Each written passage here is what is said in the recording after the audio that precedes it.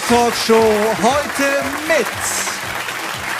Ja, mit Humor und scharfer Zunge analysiert er die Themen unserer Zeit. Heute Abend wird er ein leidenschaftliches Plädoyer für die Streitkultur in unserem Lande abgeben. Wir sind gespannt und freuen uns auf Florian Schröder.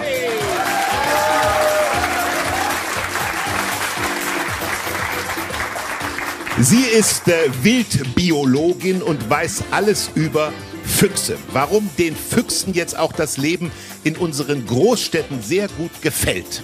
Das erzählt uns Sophia Kimmich. Herzlich willkommen.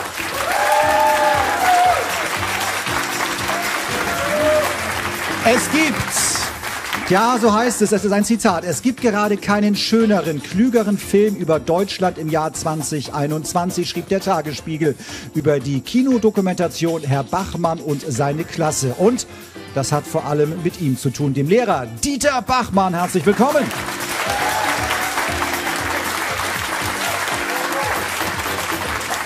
Meine Damen und Herren, mit dem Mega-Hit Rooftop hatte er 2017 seinen internationalen Durchbruch über 1000 Songs hat er bisher geschrieben und nun gibt es was Neues von ihm. Singer, Songwriter Nikos Santos ist bei uns.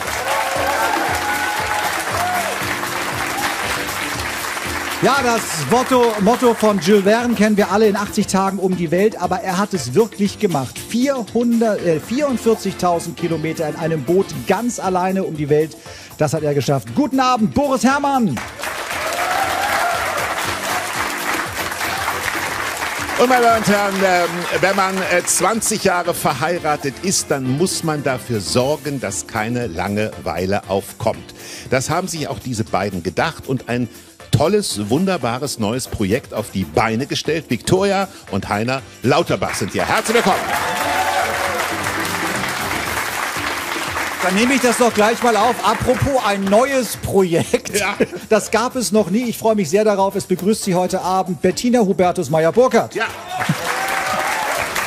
Und ähm, ich will es wie folgt aufgreifen. Barbara Schöneberger hat ihren Sohn aus erster Ehe geschickt. Jörg Pilawa ist da. Herzlich willkommen. Schön, dass Sie dabei sind. Ja. Meine äh, Herren Jörg und ich, äh, man könnte den Eindruck haben, moderieren die NDR Talkshow schon seit 40 Jahren, also so wir kommen da langsam hin.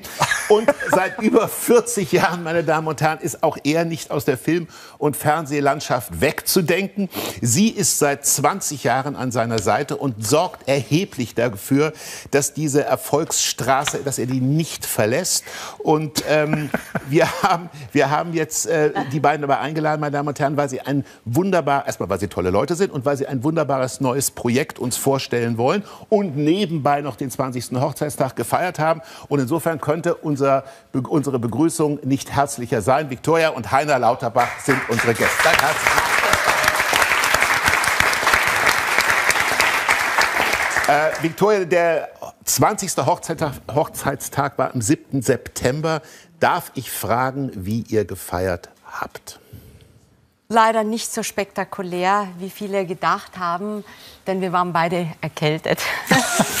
ähm, Heiner hatte aber eine Überraschung geplant ja. und hat mich auch ein paar Tage davor gefragt, ob, wir, ob ich es denn schaffen würde nach Italien. Ich verrate jetzt nicht wohin. Ähm, und äh, ja, mir ging es aber ehrlich gesagt nicht so gut. Ich hatte Antibiotikum genommen und Heiner auch. Also von dem her lagen wir beide krank im Bett. Mhm. Es ist, da muss man sehr gut verheiratet sein, sehr glücklich sein und dann kann man so ein bisschen drüber lachen über die Situation, glaube ja. ich. Ne? Also ja, das ist man kann ja eh nichts dran machen. Das werden wir nachholen. Ja. Wir sehen noch mal ein paar Bilder von der Traumhochzeit 2001.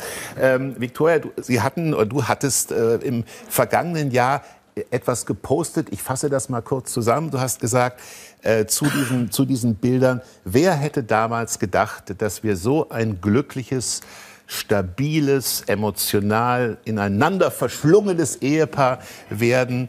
Äh, das hätten viele nicht geglaubt. Warum hatten eigentlich so viele Menschen, Victoria, aus deiner Sicht Vorbehalte?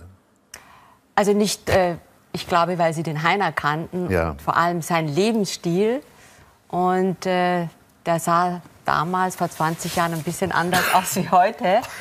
Ähm, ich glaube, dass es daher kam. Also mich kannte ja damals noch keiner. Also von dem her denke ich mal, dass es mir an ihm gelegen ist. Ist Denn, zu befürchten, ja. ja. ja. Aber ich glaube, ähm, also Jörg, weiß ich, ist sehr glücklich und gut verheiratet. Und bei mir weiß ich es auch, dass Ja. ich sehr glücklich und gut verheiratet bin. Würdest du sagen, am Ende ist es auch bei aller Arbeit, die dazugehört, ja, hin und wieder, aber am Ende ist es einfach ein riesiges Himmelsgeschenk, wenn man jemanden findet, wo die Seelen so gehen. So ist es. Ja. Ich glaube daran, ja. Ja. Ähm, jetzt habt ihr zwei gemeinsame Kinder, äh, die sind 12, 14 und 19 Jahre alt. Und die stellen ja nun Fragen, nicht nur beruflich, sondern auch Fragen, wie macht ihr das? Ich erlebe gerade im Freundeskreis auch eine sehr glückliche Ehe, wo die Kinder die, die glückliche Ehe der Eltern fast als Bürde empfinden, weil sie sagen, sowas schaffen wir nie. Ja? Erlebt ihr das manchmal auch? Werdet ihr gefragt, Mami oder Papi, wie machen wir das, dass wir auch eines Tages so eine glückliche Partnerschaft werden, führen dürfen? Nee. Nee. Nee. Das kann man klar mit Nein beantworten. Okay. Wir werden überhaupt wenig gefragt von unseren Kindern, muss man sagen. Das liegt am Alter. Man hat so ein bisschen das Gefühl, dass die das alles besser wissen, beziehungsweise unseren Ratschlägen da nicht vertrauen würden. Noch nicht. Ich schätze mal, der eine ist ja voll in der Pubertät gerade, die andere hat sie gerade hinter sich. Das wird sich hoffentlich noch ändern. Aber, aber in, in Ehefragen werden sie uns bestimmt mm, so schnell nicht Ja, in Partnerschaftsfragen, sowas gemeint. aber was man, sagen wir mal, was man wirklich merkt, wenn man, sagen wir mal, dieses Buschikose, was ja so, wenn, wenn man sich mal einen Bussi gibt und so, ah, dann verdrehen die schon die Augen. Und wenn wir uns besonders gut verstehen, aber man merkt so zwischen den Zeilen zu Hause, dass sie das schon sehr zu schätzen wissen, weil sie nämlich viele Freunde haben, Was anders ist. die, wo, wo die Eltern sich getrennt haben schon. ne? Und irgendwie äh, merkt man schon, wenn, sag mal, wenn wir mal, wenn da mal zu Hause so ein bisschen was ist, dass wir uns ein bisschen streiten oder dass wir nicht so lieb miteinander reden wie sonst, dann, merkt man schon, ist irgendwas oder so, ne, dass die schon auf der Hut sind. Ja. Wir machen mal einen Schnelldurchgang, einen filmischen Schnelldurchgang durch euer gemeinsames Leben. Ähm, schön gemacht, finde ich, von der Redaktion. Volksgeheimnis, die Zahl 2. Im Doppel kam der Durchbruch. Die Komödie Männer machte ihn zum Star und diese zwei Herren zu lebenslangen Freunden. Im Jahr 2000 traf er sie. Mit dem Herz am rechten Fleck und dem Handy in der Hand ging es mit ihr hoch hinaus. Ein Preis folgte dem nächsten. Im Film hagelt es Schüsse, im Privaten viele Küsse und aus zwei plus zwei wurde vier. Sie feierten zwischen Schlümpfen, Zweiohrküken und der hohen Politik. Jetzt starten sie gemeinsam die Karriere 2.0. Zwei Jahrzehnte Eheglück, was für ein Doppel. Viktoria und Heiner Lauterbach.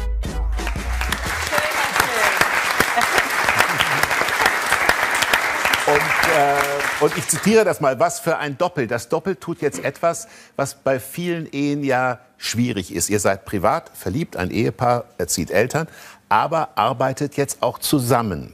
Davon wird hin und wieder abgeraten. Du bist Heiners Managerin. Ja, ich arbeite Ja. eigentlich schon seit 20 Jahren für Heiner, mit Heiner zusammen. Also für mich ist das nichts Neues. Ja, aber nun, eine gute Managerin entwickelt ja auch einen Künstler und sagt, pass mal auf, das solltest du vielleicht nicht machen, aber das solltest du vielleicht machen. Ist es schwer, Heiner von etwas zu überzeugen, was er zunächst nicht möchte? Ich habe so meine Taktik. Mhm. entwickelt. Wieder erzähl. Die Taktik, Ja. ja. das, die verrate ich jetzt nicht. Ja, mehr. ja, es gehört zu der Sonst- Taktik, da nicht drüber zu sprechen. Also, es ist für sie nicht schwer. Ich, ich kann das, glaube ich, besser beantworten. Sie meint, ich wüsste das nicht. Sie hat eine unglaublich gute äh, Methoden, also nicht, was Sie jetzt meint, sondern äh, einen dazu überzeugen. Victoria, aber ich bin, ich lasse mich auch von ihr wirklich gern, äh, gerne überzeugen, weil sie wirklich meine, mittlerweile muss ich sagen, meine beste Beraterin ist auch, ganz äh, objektiv gesehen. Aber sie improvisiert, glaube ich, auch, weil sie erkennt schlummernde Talente äh, in Momenten, wo sie damit selber, glaube ich, gar nicht gerechnet hat. Heiner guckt jetzt so kritisch, dass man sich gar nicht traut, die nächste Frage zu stellen. Heiner hat telefoniert und hat einem Schauspieler, einem wahrscheinlich jungen Schauspieler, einen Rat gegeben. Und nach meiner harten Recherchelage ist es so, dass du, Victoria, plötzlich auf die Idee kamst, aus diesen Ratschlägen, die Heiner einem anderen Menschen, jüngeren Künstler erteilt hat, daraus eine Geschäftsidee zu entwickeln. So war es doch. Ja. ja, nicht ganz. Also ich konnte ja den Heiner eigentlich die letzten 20 Jahre immer wieder beobachten, äh, mit was für einer Leidenschaft er sein ganzes Wissen eben nicht nur an unsere Kinder weitergegeben hat, sondern mittlerweile auch an seinen Studenten, aber auch an Freunden, die Rat gebraucht haben. Und da kam mir dann die Idee und habe dann den Heiner eben eines Tages gefragt, Mensch Heiner, Könntest du dir vorstellen, dein ganzes Wissen, was du dir über die letzten 40 Jahre angeeignet hast, in Form eines Videos weiterzugeben? Also du meinst im, im schauspielerischen? Im Schauspielerischen. Ja, klar. Ja, ja, ja. Meine, was er ja schon getan hat. Er ist ein wunderbarer genau. Schauspieler, aber noch ein besserer Lehrer, würde ich sagen. Ja. Du bist wirklich ähm, mega. Ne? Also und äh, ja, und da hast du mir damals auch noch gesagt, das weiß ich noch, du warst erst mal begeistert von der Idee und dann haben wir beide dann noch mal weiter darüber nachgedacht und ich sagte dann noch, das weiß ich noch ganz genau zu dir, was hältst du davon, wenn wir die Besten ihres Fachs, dass wir von denen ein Masterkurs oder so ein ja. Video aufnehmen würden und dann sagtest du einen Satz, den werde ich nicht vergessen, und zwar, stell dir vor, Albert Einstein, es gäbe so ein Video von ihm, wo er seine Relativitätstheorie erklärt hätte, ja. mit seinen eigenen Worten. Mhm. Ja. Oder Marie Curie. Äh, so, das ist, wenn man äh, die Relativitätstheorie mal googelt, mhm. ne? ja. dann gibt es viele äh, Tutorials. Du bist aber nach fünf Minuten bist ja. du irgendwie nickst du ein. Aber stell dir mal vor, der Einstein selber mhm. hätte das in einem Film erklärt. Da würde ich nicht, da würde ich nicht wegschalten. Ja, Danach ja, war für uns klar, wir müssen Meet Your Master gründen. Also ja, das ging eigentlich wirklich ganz schnell. Wir sind beide wirklich so richtig besessen von dieser Idee. Ja. Mhm. Naja, ohnehin, wenn die großen, die großen Philosophen, wenn es schon digitale Technik gegeben hätte und wir ja. hätten ein Video von Immanuel Kant oder von ja, Hegel ja. oder von Herder. Jetzt gibt es 20.000 Schauspieler äh, in etwa, nimmt man an, und 5.000 Schauspieler können dafür leben. Ähm, was sagst du, Heiner, den Schauspielern, die vielleicht auch hier und da mal Existenzangst haben, bevor sie den Beruf ergreifen oder nachdem sie den Beruf ergriffen haben? Naja, als erstes höre ich sehr oft die Frage von diesen jungen Leuten, aber auch von ihren Eltern. Ich war gerade noch äh, auf meiner Universität da und hatte da Gespräche, da waren auch Eltern dabei. Äh, sollen wir das überhaupt machen? Ja. Ich, ich fühle das in mir, aber ich bin mir nicht sicher, ob ich es versuchen soll. Mhm. Und da sage ich immer, auf diese Frage gibt es nur eine Antwort. Wenn ihr ein bisschen länger darüber nachdenken würdet, würdet ihr selber darauf kommen. Ich kann das aber auch abkürzen. Ja, Du musst es versuchen. Mhm. Denn wenn du es nicht versuchst, wirst du immer wieder in deinem Leben, bis du 80, bis du 90 bist, wirst du, wenn du ins, ins Theater irgendwo gehst mhm. und der Vorhang geht auf, der Traum. sagen, scheiße, ja. ich bin auf ja. der falschen Seite. Mhm. Ich müsste eigentlich da oben stehen. Wenn du ins Kino gehst, wenn du ja. Fernsehen guckst, das wird dir immer wieder passieren. Wenn du es machst aber und scheiterst, dann bist du noch jung, dann machst du was anderes. Dann kannst du immer sagen, ich habe es versucht. Ja. Ne? Und es kann nur eine Antwort geben. Und äh, witzigerweise haben Jörg und ich vorhin über Sicherheit und Abenteuerlust in einem anderen Zusammenhang gesprochen. Und man muss, glaube ich, auch jungen Leuten immer sagen, eine Niederlage ist ja keine Schande. Nein. Äh, das ist Nein. ja vor allen Dingen etwas zu äh, etwas zu versuchen und dann zu sagen. Äh, es kann ja verschiedene Gründe geben, warum man dann aufhört, weil einem auch dieser, äh, sagen wir mal, dieses Metier nicht gefällt. Das Filmbusiness ist ein ziemlich hartes Business.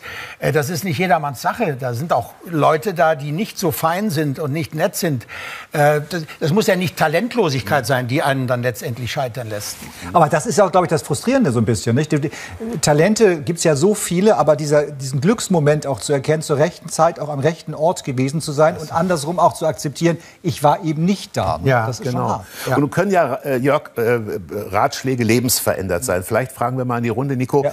Äh, gab es mal einen Ratschlag und wenn ja, welchen in jüngeren Jahren, wo du gesagt hättest, ich wäre nicht da, ich wäre nicht der erfolgreiche Interpret heute oder ich wäre als Mensch nicht da, wo ich bin, wenn die oder der mir damals nicht diesen Ratschlag gegeben hätte? Ich glaube, viele. Ähm, einmal war es Papa, auch genau das, was du gerade gesagt hast, right time, right place. Er hat immer, er hat immer gesagt, es, es wird kommen, aber ähm, es braucht Zeit und, und diese Niederlagen müssen auch irgendwie, die, die, die formen dich halt dann auch. Ne? Ich, ich weiß, ich bin erstmal, ähm, mit 20 bin ich nach Köln gezogen, erstmal habe zwei Jahre lang da probiert, äh, Musik zu machen und ähm, bin auf jeden Fall gescheitert, weil irgendwann so, dass ich habe, okay, ich, ich gehe einfach wieder zurück nach Mallorca, fange wieder an als Animateur und äh, dann, äh, dann spare ich wieder so lange, bis ich wieder versuchen kann. Aber ähm, dann quasi mit, mit, mit Glück habe ich es irgendwie in, in eine andere Art und Weise geschafft, mich da irgendwie durchzumogeln. Ähm, aber ehrlich gesagt, es waren, waren viele verschiedene. Also Papa natürlich von Anfang an, der immer gesagt hat, ey, probier's und mach's und Ja. wir unterstützen dich dabei. Dann aber auch ähm, Freunde, die gesagt haben, ey, bis du da irgendwann mal von leben kannst, das, das, Dauert. Geht auf, das dauert auf jeden Fall. Also Florian, gab es bei dir so, so jemand, so einen Ratschlag, den du im Leben bekommen hast, wo du gesagt hast, ja, das waren schon Schlüsselmomente? Ja, ich habe mich ja mit äh, 15 Jahren äh, beim Radio beworben, äh, weil ich glaubte, es sei an der Zeit, ganz groß Karriere zu machen. Also ich war in einem komplett pubertären- Allerspätestens mit 15. Allerspätestens. Ich war in einem komplett pubertären Größenwahnsinn gefangen. Und ich habe mich dann auch noch beim FC Bayern des damaligen Radios beworben, bei SWF 3. Oh ja. Und äh, das, da war der, der Chef damals, äh, Peter Stockinger, ein ganz großartiger Typ, der Klaus Kleber entdeckt hat, Frank Plasberg, Anke Engelke, Balder, Harald Schmidt hat er gesehen, also wirklich alle, die irgendwie große Namen wurden. Und da habe ich mich beworben, ich möchte jetzt da moderieren. Und äh, dann habe ich eine Kassette aufgenommen, wo ich zum Teil parodiert habe, ein bisschen rummoderiert habe. Und dann schrieb mir Stockinger tatsächlich einen Brief zurück, den ich bis heute habe, für den ich ewig dankbar bin. Und zwar hatte mir dann geschrieben, äh, ihre, ihre Stimme ist gut, sie beweist in der Darstellung eines Hörfunkmoderators parodistisches Talent. Dies ist jedoch zunächst alles. Der Wert eines guten Moderators beginnt jenseits dieser Gegebenheiten. Ich habe zahlreiche sehr junge Moderatorinnen und Moderatoren erlebt, die sich später nicht nennenswert über das Anfangsstadium hinaus entwickelt haben. Schuld war dann die hohle Selbstgenügsamkeit, die sich auf den hohlen Wohlklang der Stimme beschränkte. Äh, der Wert eines guten Moderators aber beginnt jenseits dieser Gegebenheiten. Und dann hat er mir noch empfohlen, erstmal die Schule zu Ende zu machen. Und er hatte einfach, ich war damals total enttäuscht, aber im Nachhinein bin ich ihm so dankbar und denke, er hatte so fucking recht. Das war eine tolle. Das war, das war ja eine sehr konkrete Hilfestellung, muss man sagen, in frühen Jahren, die wegweisend war. Und welche konkreten Hilfestellungen äh, Heiner Lauterbach gibt, das gucken wir uns jetzt mal an, einer jungen Schauspielschülerin. Und danach reden wir drüber. Bitte schön. Sonst noch was? Zeit. Viel Zeit. Kaffee? Nee, Kaffee kriegst du nicht. Ist ungesund. So, okay, gehen wir es mal durch. Äh, Das erste war schon gut mit dem äh, dreimal. Ne? Ich würde das nicht kontinuierlich steigern, das ist ein bisschen langweilig. Ne? Ich war das nicht, ich war das nicht, ich war das nicht, sondern äh, das muss so organisch. Ich war das nicht. Dann gucke ich blöd. Was? Ja, ich war das nicht.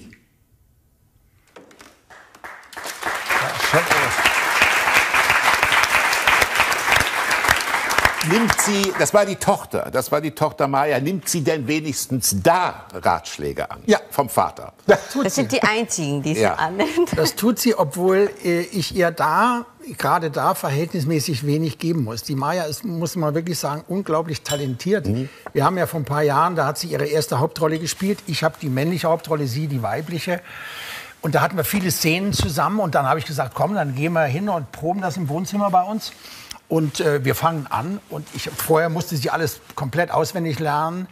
Und ich habe dann gesagt, ja, also das eine oder andere, aber ich weiß, also viel kann ich dir da nicht zu sagen. Das ist unglaublich. Also ich, wenn ich mich an meine Zeit erinnere, wo ich auf der Schauspielschule war und so, ich war bei weitem nicht so weit. Äh, äh, die ist äh, toll. Wie übrigens viele junge Leute heute, wir haben ja auch tolle junge deutsche Schauspieler, ne, Mädchen und Jungen, die, die erstaunlich weit sind. Das ist irgendwie, bringt das die Zeit auch ein bisschen mit sich. Jetzt ist Maya nach London gezogen. Ich weiß, wie das ist, wenn der Sohn ins Ausland geht und man dann in das Zimmer geht, wo er gewohnt hat, bis er ins Ausland gegangen ist. Macht ihr das auch manchmal und müsst so ein bisschen schlucken dann oder so? Ist das so ein... Ja, klar. Wer, wem fiel es leichter, von euch loszulassen? Ich, also das hört sich schlimm an, aber ich, ich befürchte äh, Mia, weil es Victoria eben so Ja. schwer fiel. Ja. Ähm, ja, Und gab es mal Bedenken? Äh, wir hatten vor kurzem von äh, die Tochter, ich habe jetzt nicht ihren Vornamen, die wunderbare Tochter von äh, Veronika Ferres hier, die, wo man Lilly. Äh, Lilly, Lilly, genau, Lilly Ferres, äh, wo ich das Gefühl hatte, als sie hier war, ja, die hat äh, sich von der prominenten Mutter wirklich so emanzipiert. Die saß hier als ein frisches Mädchen, als eine wie ich glaube, hochbegabte Schauspielerin und war eine eigene Person. Ja. Äh, als ihr nun wusstet, dass eure Tochter Schauspielerin werden will, gab es da auch mal so den Punkt, wo ihr als Elternpaar gesagt habt, Wollen wir mit ihr noch mal reden? Will sie vielleicht Nee, nicht doch Steuerberaterin werden? Genau, was Vernünftiges. Nee, Wirtschaftsprüferin. das war genau andersrum. Maya hatte selber sich die Gedanken gemacht, was ist, wenn das nicht so klappt mit der Schauspielerei? Ja. Und soll ich das denn machen? Und Heiner und ich haben gesagt, du geh deinen Weg, probier's aus, äh, mach drei Jahre die Schauspielschule, danach wirst du sehen. Also auch da haben wir sie unterstützt und Ja, das war das Einzige, wo ich, wo ich sagen wir mal, äh, verhältnismäßig konsequent blieb im Zusammenhang mit meiner Tochter, was mir sonst schwerfällt, äh, dass sie eben eine Schauspielschule machen muss Ja. und dass sie tunlichst Theater spielen soll. Ja.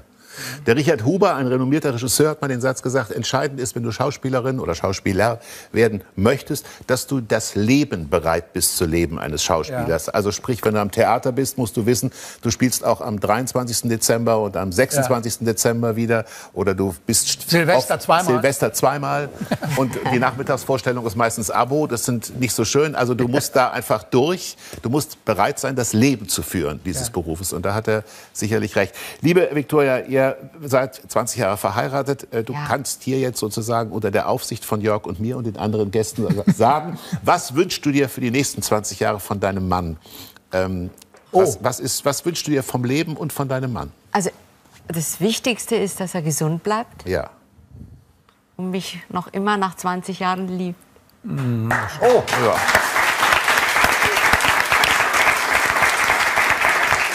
Heiner, hast, kannst du das mit einem gewissen Optimismus quittieren? Naja, also ich habe mir, ich hab mir eben gedacht, als wir, als wir kurz darüber sprachen, über diese Weltumsegelung, was für eine unglaubliche Leistung das ist, habe ich mir gesagt, was, welche Leistung ist denn eigentlich höher, diese Welt in 80 Tagen zu umsegeln oder 20 Jahre mit mir verheiratet zu sein? äh, also das und? sagt, glaube ich, schon alles. Ja. Ich äh, bewundere Viktoria für viele Dinge, unter anderem eben auch dafür, dass sie das so toll äh, meistert. Aber dann darf ich doch fragen, was ist das Knifflige, mit dir verheiratet zu sein? Ach, das ist jetzt, das hört sich nach Koketterie an. Ähm, ich finde es grundsätzlich, sagen wir mal, äh, 20 Jahre an der Seite eines Mannes zu leben, ähm, der, sagen wir, auch so ein bisschen durch seinen Beruf schon extrovertiert ist, das alles mitzumachen und äh, dass wir so eine, in Anführungszeichen, normale und, und so eine herzliche und, und warm, warme Ehe miteinander führen, das äh, ist schon in großen Teilen ihr geschuldet. Sie managt das eben Ja. alles sehr gut. Ihr habt euch viel bewahrt. Ihr habt euch viel bewahrt. Das glaube ich auch. Ja, also wenn ihr in 20 Jahren dann die, bei der Silberhochzeit hier seid und dann unseren Nachfolgern, unseren Nachfolgern erzählt, wie das alles ist. Euren Enkeln. Und sein Enkel. Viktoria und Heiner Lauterbach. Schön, dass ihr da oben seid. Ich freue mich, mit unserem nächsten Gast über ein Thema sprechen zu können, äh, zu dem jeder wirklich etwas sagen kann, weil es geht um das Thema Schule. Ich gehe davon aus, dass jede, jeder in der Runde zur Schule gegangen ist und seine Erinnerungen hat. Hubertus, wie warst du in der Schule eigentlich? Ich war im Gymnasium grottenschlecht. Ich war desorientiert und ich habe einen Lehrer gehabt in der Grundschule, der mir, der meine Seele gerettet hat, den ich gerne hier erwähne, Herr Dippel. Ohne Herrn Dippel wäre ich seelisch vor die Hunde gegangen. Das war meine Frau Duch in der Grundschule. Ja. Das hat mich auch wirklich so beflügelt, dass ich die Schule, muss ich es wirklich sagen, durchgehalten habe. Denn es ist nicht immer einfach. Deshalb freue ich mich auf unseren nächsten Gast, weil äh, auf die Vorbereitung äh, des Gastes wurde mir nahegelegt, einen Film zu gucken. Und es hieß Überschrift dreieinhalb Stunden Film Dokumentation über einen Lehrer und seine Klasse. Da habe ich gesagt, das klingt für mich so sexy wie damals im Lateinunterricht die gallischen Kriege zu übersetzen. Aber es war ein oder es ist ein Hammerfilm. Also wenn Sie wirklich eine neue Einstellung zum Lernen, zur Schule, zur Integration, zur Herzlichkeit, zur Wärme haben wollen, schauen Sie sich den Film an. Der da heißt Herr Bachmann und seine Klasse. Und er ist bei uns. Herr Bachmann, herzlich willkommen.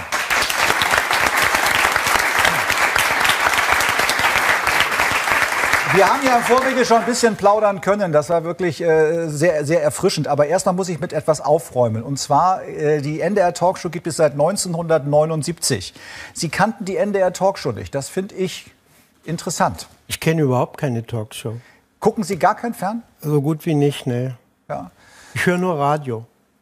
Man muss sich ganz anders konzentrieren beim Radio hören. Wie ist es jetzt, in einer Talkshow zu sitzen? Ich bin verwundert. Erzählen Sie. Wir sitzen so ganz normale Menschen. Was haben Sie erwartet? Ja, ich, keine Zombies, aber irgendwie habe ich mir das anders vorgestellt. Glamouröser. Ja, so mit, mit, mit, mit Heiligenschein, den Herrn. Herr Burkhardt. Hat er nicht. Ganz Also, normal. mir ging es vorhin ganz komisch. Herr Pilawa kam auf mich zu, ich habe ihn nicht erkannt. Den habe ich natürlich schon zwei, dreimal in irgendwelchen Quizshows gesehen mit meinen Söhnen immer Ja. über die Jahrzehnte. Aber ich habe sie nicht erkannt. Also wenn, wenn sie so als normaler Mensch auf einen zukommen, also nicht über Ja. Kameratechnik oder so beleuchtet, ich weiß nicht, ich habe sie nicht erkannt. Ist er noch Das sympathisch? Ich Das fand, ist ja ich, beruhigend. fand, ich hätte sie auf der Straße nicht erkannt. Ich ich wusste ja, sie kommen hier auf mich zu, Ja. aber ich fand das toll. Also ich finde, sie sehen viel sympathischer aus in der Realität. Herr Bachmann, leider sind Sie pensioniert. Ich würde alle meine Kinder in Ihre Klasse schicken. Aber jetzt lassen Sie erst mal drüber sprechen. Ähm, das ist wirklich ähm, ein besonderer Film. Ähm, Stadt Allendorf ist eine kleine Stadt in Nordhessen. Sie haben dort unterrichtet die 6b, 19 Kinder aus 12 Nationen zwischen 12 und 15 Jahren. Das klingt schon wahnsinnig. Und bevor wir darüber sprechen, wollen wir erst einmal in die Klasse reinschauen und uns ein paar Bilder angucken. Bitte. Für meinen Teil finde ich das halt scheiße, ne? Wenn die nicht lernen, dann sind sie selber dran schuld. Weißt du, wie schwer es ist, wenn du. Du musst noch Deutsch lernen. Wir sollten als Klasse zusammenhalten. Wir sind halt hierher gekommen, aber ich konnte, ich habe nichts verstanden. Was ist los? Ich habe was gelernt über dich. Du wirst Friseur werden. Du kannst ja mal bei mir üben. Ich will auch Profiboxer, aber Profiboxer, der Friseur ist ja was Neues. Diese Noten zeigen überhaupt nichts von euch. Das sind nur Momentaufnahmen. Viel wichtiger ist, dass ihr alle tolle Kinder seid, tolle Jugendliche.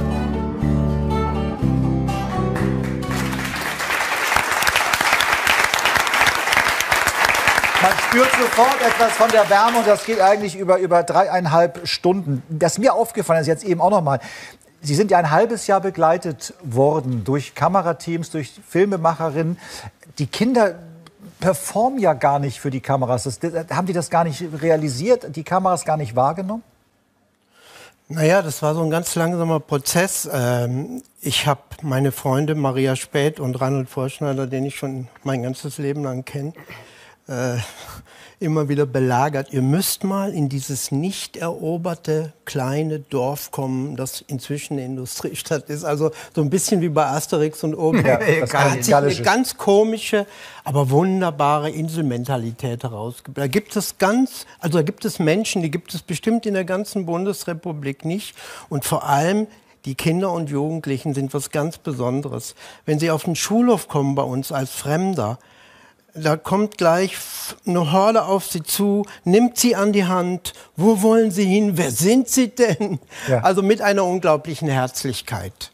Und äh, ja, dann sind die mitgekommen, schon vor ein paar Jahren mal in eine andere Klasse und Maria Späth hat sich gleich schrecklich verliebt in diese Kinder. So wie ich das auch gemacht habe, mal vor über 20 Jahren. Und ja, dann kam die ganze Filmförderung, das stotterte erst, dann hat's geklappt und dann sind die auch schon äh, ein halbes Jahr bevor der Film angefangen hat, immer mit in die Klasse gekommen. Und die gehörten zur Klasse. Ich habe die einfach zu Hilfslehrern gemacht. Ja, und die haben sich selber, wir sind ja Ganztagsschule gewesen. Ich habe zum Beispiel einmal, am, einmal an einem Tag zehn Stunden Unterricht in der Klasse. Da haben wir zusammen gegessen, da haben wir zusammen Hausaufgaben gemacht. Die Hausaufgaben waren abgeschafft. Alles Neben dort. in der Schule.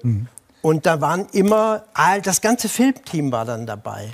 Aber wir haben jetzt nur einen kurzen Ausschnitt gesehen. Vielleicht beschreiben Sie mal, bitte, was, was sind es für Kinder, die Sie dort unterrichtet haben? Wir haben ja gesagt, diverse, 19 Kinder, äh, 12 Nationalitäten. Wenn Sie die so beschreiben würden. Ja, ich habe ja gerade die- diese Stadt Allendorf versucht zu beschreiben. Als ich das erste Mal dahin kam, dachte ich, das ist so eine stehen gebliebene Westernkulisse. Ja. Ja. Und äh, also es hat was ganz Provisorisches. Das passt irgendwie zu mir. Ich mochte das gleich. Und die Menschen, die kommen aus aller Welt. 70 Prozent der Menschen in Stadt Allendorf haben einen Migrationshintergrund. 70 Prozent. 70 Prozent. Und die kommen aus aller Welt. Und die sind sehr dankbar, dass sie da sein können. Die Eltern sind dankbar, dass sie einen Job haben. Es gibt dort Ferrero, Fritz Winter, da gibt es Großbetriebe. Über 10.000 Arbeitsplätze in der Industrie und ungefähr 20.000 Einwohner. Es gab ja vorher, während des Nationalsozialismus, eben auch äh, Zwangsarbeiter dort Es gab zwei Munitionsfabriken. Also es ist wirklich eine... eine Da haben Sie etwas gelernt über den Siehst du, Film, habe ich ne? sofort gewusst, war mir nicht bekannt, die, die äh, Europas größte Munitionsfabrik. Ja, zwei, also, zwei, ja. Es, es, ist, es ist eben eine, eine, eine Geschichte, es gibt vier Moscheen, aber nur ein, eine, eine Kirche. Es ist also ein ganz anderes Stadtbild und trotzdem, ähm, die, wenn man in diese Klasse reinguckt, in diesen, in diesen äh, ja, Mikrokosmos äh, eigentlich, wenn man sich dann, dann die, die Kinder so anschaut, wo einige hier ge äh, geboren sind, Deutsch können, aber sie haben eben auch Kinder, die überhaupt gar kein Deutsch kannten, als sie in die Klasse kamen. Wie viele Kinder waren das von in der 6b ungefähr, die gar kein Deutsch konnten? Das habe ich jetzt nicht. Wie viele konnten gar kein Deutsch? Äh, das, äh, bei uns an der Schule gab es dieses System, die Kinder, die in dieser Migrationswelle seit äh, 2015 ankamen, die kamen erst in eine Sprachenklasse. Aber das hat nicht funktioniert. Da war dann die Lehrerin die einzige, die Deutsch sprach. Und dann kamen, waren da 20 untereinander. Kinder aus verschiedenen Ländern mit unterschiedlichen Sprachen. Und dann habe ich die ziemlich schnell zu mir in die Klasse geholt und integriert. Und dann haben die ganz schnell Deutsch gelernt, weil sie halt hauptsächlich miteinander dann gesprochen haben. Was macht Sie, wenn Sie es so äh, für sich mal formulieren, einen wirklich guten Lehrer aus? Also, ich habe mich nie als besonders, mich haben oft Leute gefragt, bist du ein guter Lehrer? Ich habe mich nie so gefühlt. Für mich war diese Art Lehrer, die da im Film zu sehen ist, ein Schicksal. Es war meine einzige Möglichkeit zu überleben. Ich habe mich selber in der Schule 13 Jahre gelangweilt. Ich wurde in, wie wir vorhin besprochen haben, ich wurde in der Volksschule auch verprügelt von den Lehrern. Ähm, ich fand Vorhin äh, besprochen ich, haben, als ich Heiner, Leiter, Heiner Lauterbach vor der Sendung, habt ihr Wir schon mal hatten da geredet. so eine ähnliche genau. Geschichte. Ich, ich, für mich war das, als ich dann Lehrer wurde, erst ganz unklar, wie kann ich, de, wie kann ich das überleben? Das war die Frage für mich. Ich möchte nicht nochmal 13, 20 Jahre so Schule erleben, wie ich sie selber als Schüler erlebt Ich meine, es war ja eher bei Ihnen auch aus der Not herausgeboren, Lehrer zu werden, weil Sie waren, äh, haben als Bildhauer äh, gearbeitet, als Ich habe Steinmetz. hauptsächlich als Steinmetz genau, gearbeitet. Steinmetz gearbeitet, haben, haben Musik gemacht und sowas. Dann haben Sie Familie gegründet, mussten richtiges Geld verdienen, wie Sie gesagt haben. Drum bin Ein ich in die Schule weit, gekommen. ja. So. Wir haben den Film gut gesehen, ja. Ja, nee, also das- wirklich, das ist, das ist, das ist äh, mehr als, als beeindruckend, was da geleistet wurde. Aber wenn man sich das so, so anschaut, was macht dann für Sie eigentlich auch Schule heute aus? Lesen, Rechnen, Schreiben ist das, was wir ja, gelernt haben. Ich habe ja, Sie hatten mich ja vorhin schon gefragt, ne? ich habe den Film das erste Mal gesehen, dann dachte ich, oh Gott, was ist das für ein komischer Typ, der da Lehrer ist irgendwie. Und dann habe ich ihn noch zweimal gesehen und dann gefiel mir das irgendwie. Da habe ich selber eigentlich erst verstanden, was ich da gemacht habe. Und was ich, glaube ich, gemacht habe, das habe ich über die Kinder gelernt. Ich habe einfach angefangen reinzuhören, was wollen die Kinder. Ich habe auch bei meinen eigenen Kindern reingehört.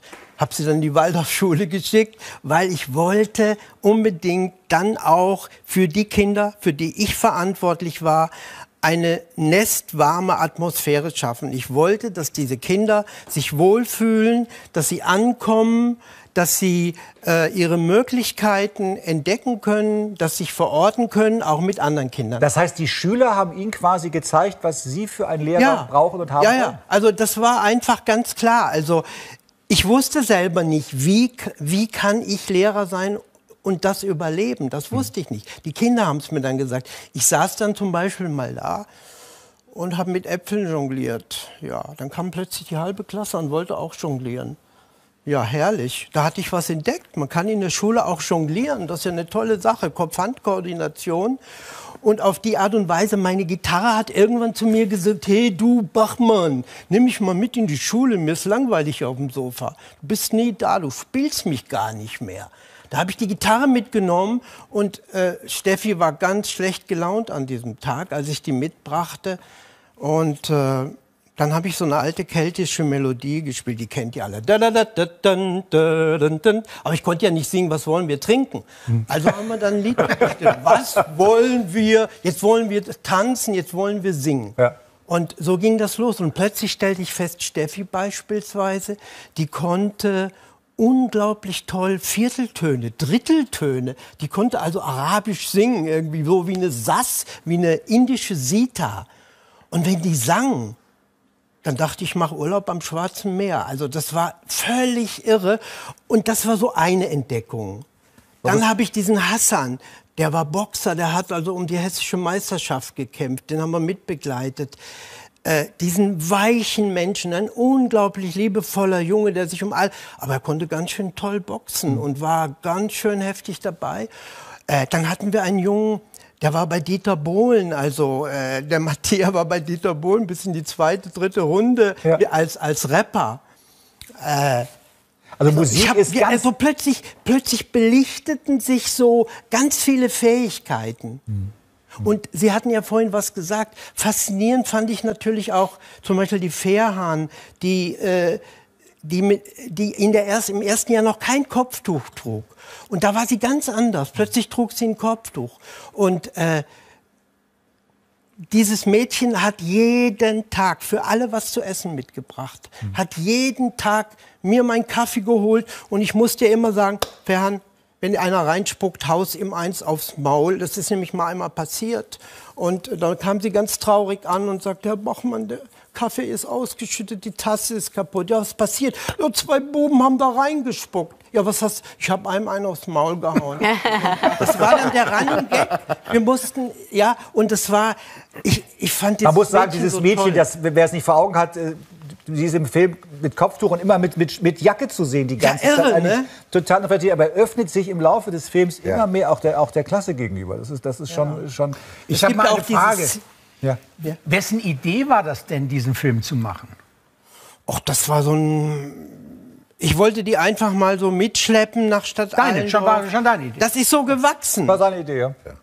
Das ist so, wir waren Freunde, also die Maria Späth und der Reinhold Vorschneider und ich habe die, ich hab den, ihr müsst euch das mal angucken. Das ist einfach äh, was ganz Besonderes, diese Stadt Allendorf. Also es, es, es gibt aber auch so klassische Szenen, die in jeder Schulklasse vorkommen können. Es geht zum Beispiel einmal um gleichgeschlechtliche Liebe. Zwei Männer, die sich küssen, zwei Frauen, die sich küssen. Da gibt es die kleine Steffi, die sich darüber wahnsinnig aufregt. Das passt überhaupt nicht in ihr Weltbild.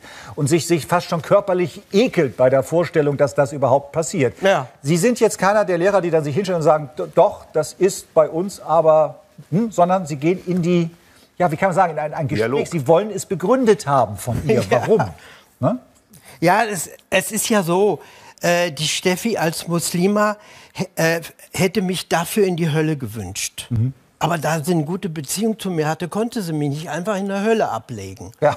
Jetzt war sie in einem tierischen Widerspruch. Schicke ich diesen Kerl jetzt in die Hölle? Auch vielleicht, die wollte mich aber nicht für fünf Minuten in die Hölle schicken, aber sie kämpfte. Und am Schluss sagt sie dann so einen Satz, ähm, ja, ich weiß nicht. Ja. Sind vielleicht doch Menschen. Und äh, da hatte ich gewonnen, da war ich dann völlig glücklich. Und wir haben dann später auch mal so ein bisschen immer wieder drüber geredet. Und sie hat einfach mal, nur darum ging es, eine andere Denke gehört. Einfach eine andere Denke. Das hat schon gereicht. Denn das hätte sie sonst in ihrem Umfeld nirgendwo mitkriegen können von einem Menschen, den sie mag. Ja. Jetzt muss man natürlich sagen, das Ganze ist gedreht 2017. Jetzt kann man ja fragen, was ist denn aus den ganzen Schülern eigentlich geworden? Und da, das finde ich, finde ich, da kann man Ja, fast schon stolz drauf sein. Die, die Ne? Frage habe ich jetzt, äh, ja, hatten wir vorhin schon drüber gesprochen.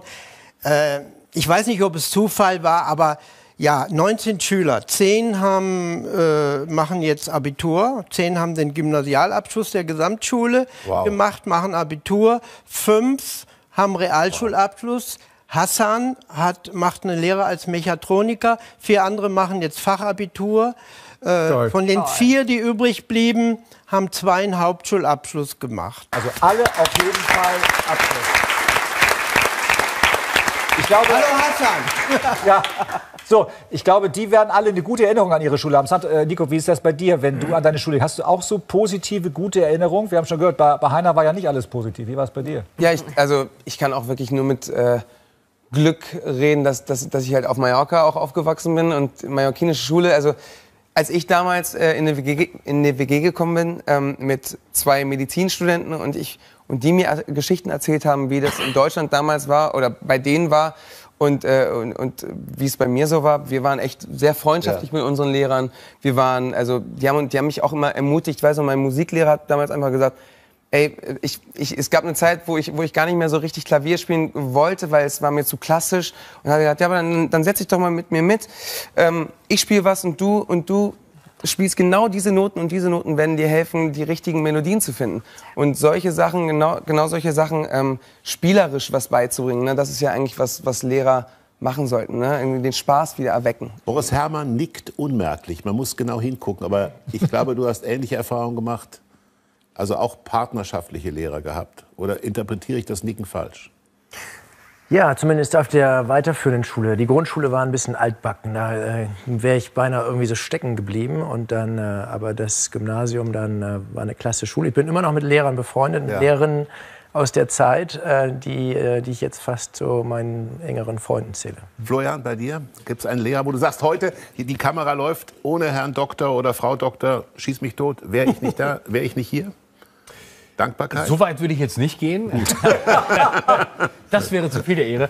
Aber ich hatte tatsächlich gerade so in den Fächern, in denen ich auch stark war, zufälligerweise die besten Lehrer. Ja. Also ich erinnere mich an eine großartige Geschichts- und Sozialkundelehrerin in der Oberstufe, die mir sehr viel geholfen hat, ähm, Dinge zu verstehen und wirklich so ein bisschen auf die Spur zu kommen. Aber ich erinnere mich auch in frühen Phasen, äh, ich bin ja über die Realschule ans Gymnasium gegangen. In der fünften, sechsten Klasse hatte ich eine Mathelehrerin und damals hatte ich so eine Zahnspange, die war hier um, um den Mund rum, also außen rum. Außen? Ja, ja, Oh. außenrum. Das ja auch Strafe. nicht nur Ja. drin, sondern draußen. Ja, und äh, die hat dann gesagt, ich wollte sie verarschen und hat gesagt, nimm das Ding raus, nimm das Ding raus. Sonst fliegst du aus dem Klassenzimmer. Ich ich kann es nicht rausnehmen, ist fest, es muss hier drin sein und so. Das hat gefühlte drei Stunden gedauert, bis sie verstanden hat, dass ich das nicht abnehmen kann. Ja, das war natürlich für meine komödiantische Laufbahn, sagen wir mal, produktiver. Als ja. Herr Bachmann, das, das war, Zahnspangenblues. das, machen wir gleich einen Song Genau. raus, auf jeden Fall. Sehr gut. Herr Bachmann, die, das ist ja wie gesagt jetzt äh, 2017, als es gedreht wurde. Zu wie vielen Schülern haben Sie noch Kontakt? Äh, äh, wir hatten jetzt äh, vor etwa zwei Monaten hatten wir eine Premiere für die Schüler äh, Ja. in Marburg im großen Kino. Da waren fast alle da, ja. Ja. Ja, das war sehr schön. Aber ich habe ich hab noch zu einigen von den Jungs äh, Kontakt gehabt. Ich habe zum Beispiel Hassan und Ercan und einigen anderen das Autofahren beigebracht. Ich hatte Gott sei Dank noch ein altes Auto. Es hatte hinter ein paar Beulen mehr. Ne? Hassan, also, äh, weil die Väter hatten halt alle so tolle Autos, dicke Mercedes und, Und darauf durften sie und nicht üben. die haben, die wollten das nicht. Und dann bin ich halt mit meinem alten Geländewagen mit denen äh, ähm, durch die Pampa geschrubbt und äh, das war toll. Ich habe mich Sie ganz toll gefühlt. Ich habe ihnen was ganz Reales beigebracht, Autofahren. Sie sind mittlerweile äh, pensioniert. Wie lebt es sich so ohne Schule? Ja, kann ich dann eine, ich kann immer das nur in Geschichten beschreiben so ein Ja. bisschen. Also ähm, meine jetzige Freundin hat irgendwie, hat, die ist Lehrerin, so wie ihre Frau. Ja. Und äh, die hat gesagt, du gehst jetzt in den Wald und überlegst dir, wie es weitergeht. Ich hatte nämlich nicht aufgehört. Ich habe noch ein Jahr weiter und habe mir überlegt, ich habe mich schon beim Schulamt gemeldet, ich wollte unbedingt mal Grundschullehrer sein. Je kleiner, umso besser. Ich, es war meine, war eine große, aber dann kam Corona, also war das auch vorbei. Aber dann hat sie mich in den Wald geschickt. Ich habe meine Gitarre genommen, habe mich auf eine Lichtung gesetzt, stell die Gitarre dahin und habe mich an einen Baum gelehnt und dann war so was Seltsames. Also so Insekten flogen auf die Gitarrenseiten.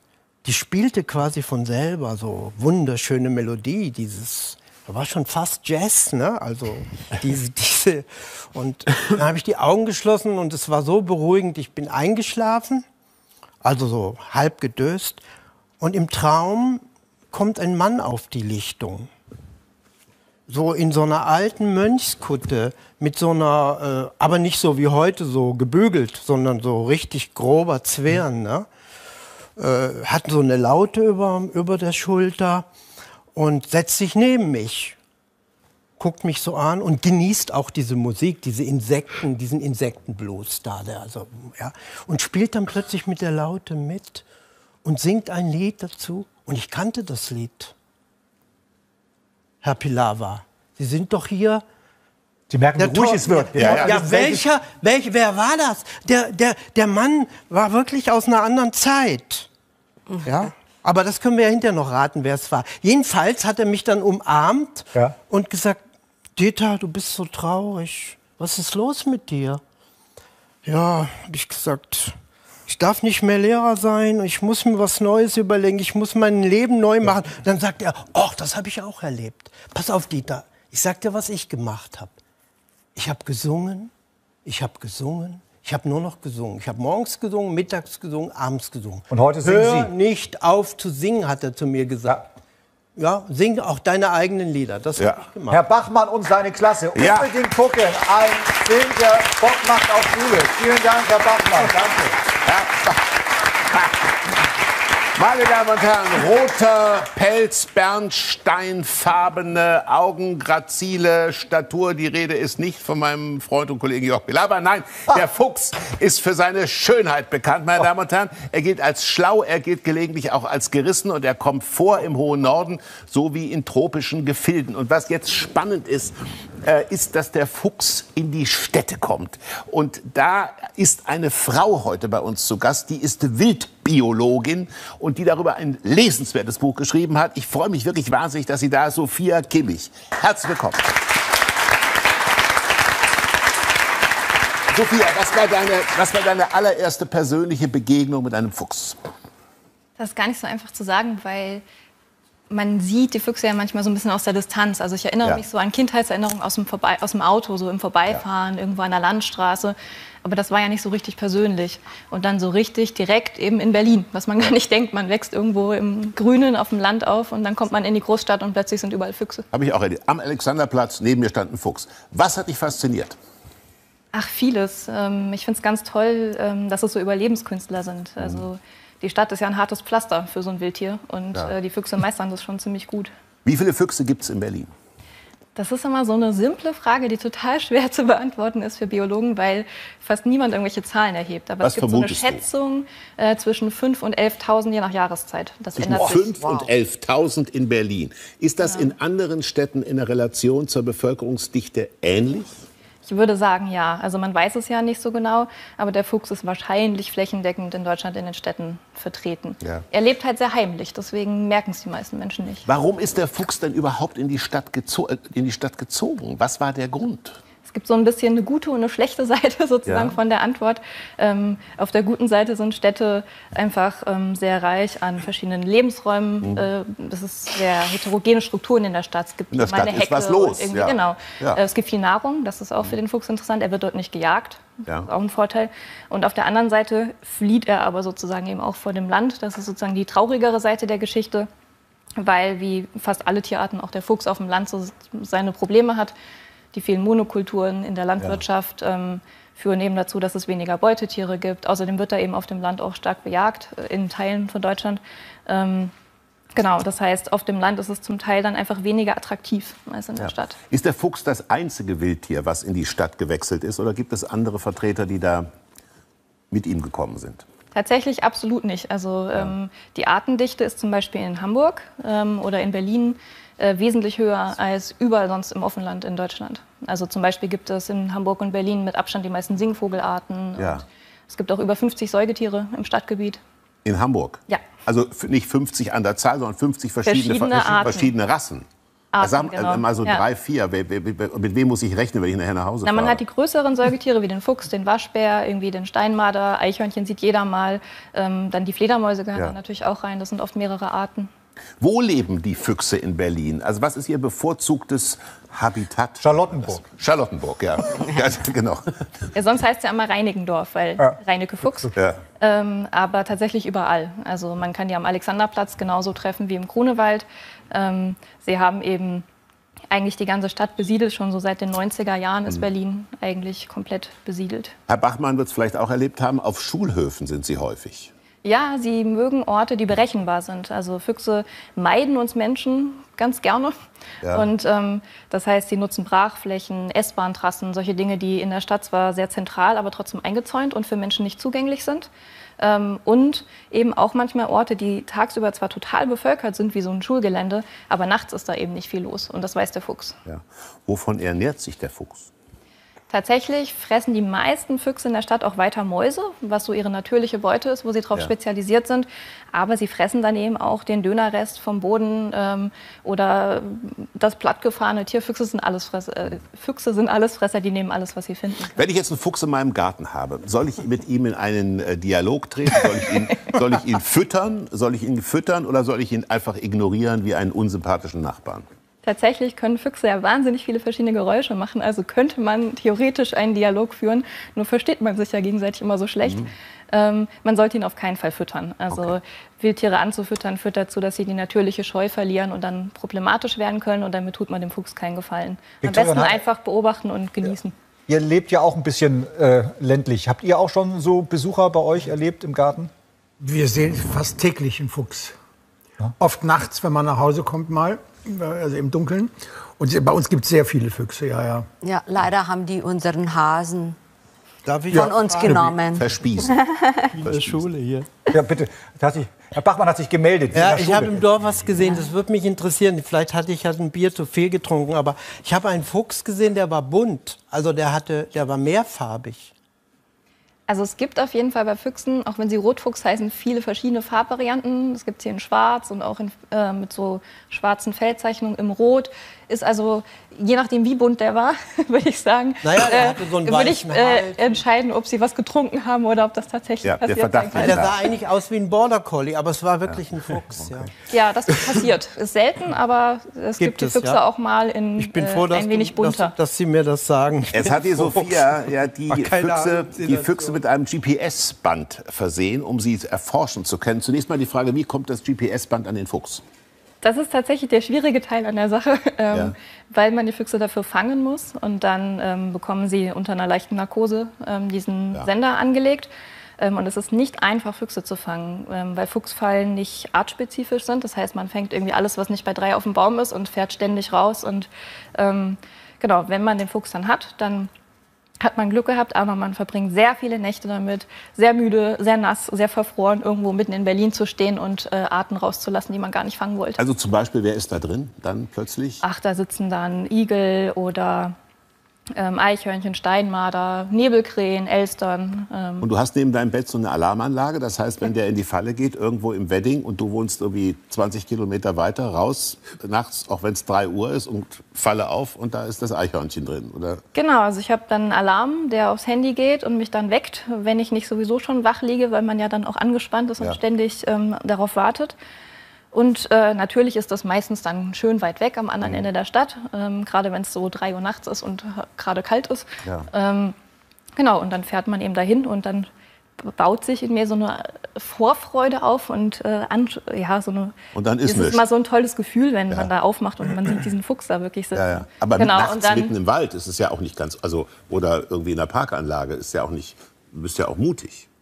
Naja, also das ist ja in der Stadt Berlin und das, Ja. äh, Ja, das ist ja jetzt nicht so, dass ich da mitten so. im Nirgendwo bin. Die Fallen, die so auf Friedhöfen standen, so nachts auf dem Friedhof, da haben Ist die Leute schön. oft gesagt, so, das, das war doch bestimmt unangenehm. Aber ich hatte immer meinen Hund dabei, da habe ich mich immer sicher äh, behütet gefühlt. Es gibt einen Fuchs im Schloss Bellevue beim Bundespräsidenten.